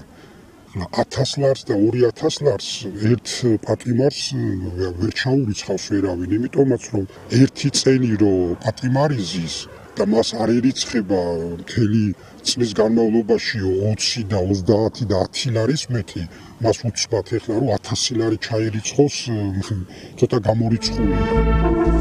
ავჭალის ციხის ყოფილი თანამშრომელი, ვინც სისტემაში ბევრი წელი გაატარა, ამბობს, რომ ციხის ადმინისტრაციამ ყველაფერი იცის. უფრო მეტიც, ირკვევა, რომ პატიმრების ციხის ბარათებზე დარიცხული თანხების ამბავი ხელმძღვანელობასთანაა შეთანხმებული. უფრო თავის თავიანთი თანამდებობების შენარჩუნებისთვის კეთდება ეს გარიგება, რომ შენ დამილაგი აქ ეს სიტუაცია, სიმშვიდე და სიწყნარე, მე არ მქონდეს აქ მე ბუნკი და რამე და ჩემი მხრიდანაც თქვენ გექნებათ ის, რომ აი სწორედ ეგ ოფშიაკების ჩარიცხები, სხვადასხვა რაღაც პრივილეგიები მათ ენიჭებათ. ირკვევა, რომ არასრულწლოვანთა ციხეში, მოხვედრილ ახალგაზრდებში კრიმინალურ მენტალიტეტთან ბრძოლის ნაცვლად ადმინისტრაცია პირიქით მოქმედებს. ავჭალის დაწესებულებაში ეგრეთ წოდებული მაყურებლების დანიშვნას ხელს უწყობენ. მოზარდები კავშირზე არიან ზონებში მყოფ ეგრეთ წოდებულ კრიმინალურ ავტორიტეტებთან. ანუ არსებობს კონკრეტული ადამიანი, რომელიც არასრულწლოვნების ციხეს მართავს და ეს ადამიანი პატიმარია? დიახ, რა თქმა უნდა. ის პატიმარია, ჩვეულებრივად არასრულწლოვანი პატიმარი, რომელიც მართავს, მაგრამ რა თქმა უნდა, მას ყავს კიდე მარტო არასრულწლოვანთა დაწესებულებიდან ვერ შეძლებს ამ ციხის მართვას. მას ცოტა ზემდგომი ფარველები ყავს სხვა დიდი დაწესებულებებიდან. ციხის ყოფილი თანამშრომელი ამტკიცებს, რომ საპატიმრო, სადაც 30-მდე მოზარდი იმყოფება, პრივილეგირებული პატიმრები ყავთ. ისინი კი პირდაპირ ხაზზე ქსნის ციხესთან არიან.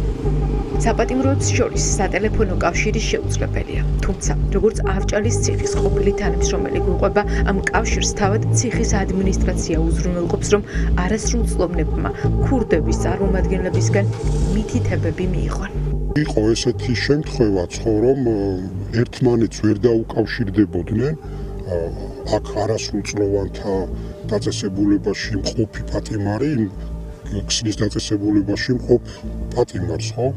და ნუ აქ მარტო პატიმარზე არ არის საუბარი, აქ არის მაყურებლებზე. და ეს მოხდა უშუალოდ ადმინისტრაციის დაწესებულების ხელმძღვანელის მეშვეობით. ჩამოიყვანეს ეს მაყურებელი და თვითონ დაარეკინეს მერე არასრულწლოვანთა დაწესებულების ამაყურებელს დააკავშირეს ქსნის მაყურებელთან. ჩვენი რესპონდენტი, რომელმაც სისტემა კარგად იცის, ასახელებს გვარებს, ვინც ხელს უწყობს არასრულწლოვანთა ციხეში კრიმინალური სამყაროს გავლენების გაძლიერებას. ნუ დირექტორი იყო დიტო ჩიჩუა, მოადგილე არის გიორგი ფიფია და გიორგი აბაიშვილი.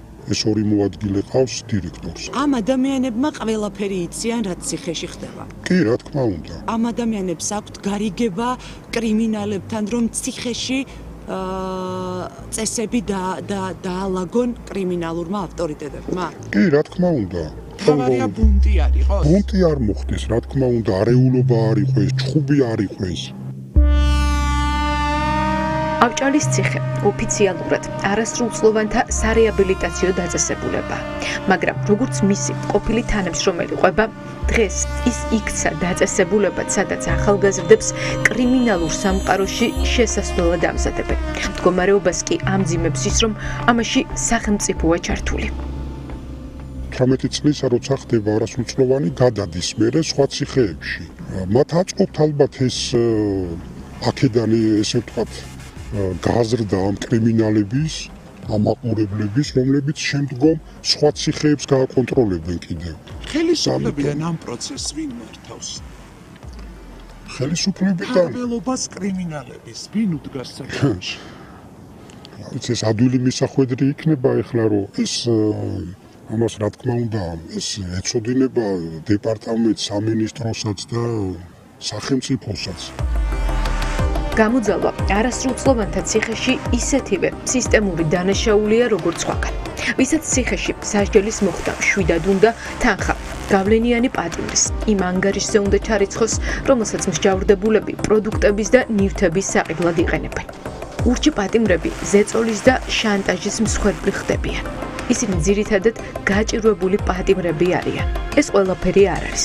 ირკვევა რომ თუ ციხის რომელიმე თანამშრომელი ასეთ პრივილეგირებულ პატიმარს შენიშვნას მისცემს, საყვედურს ციხის ხელმძღვანელისგან ზედამხედველი იღებს.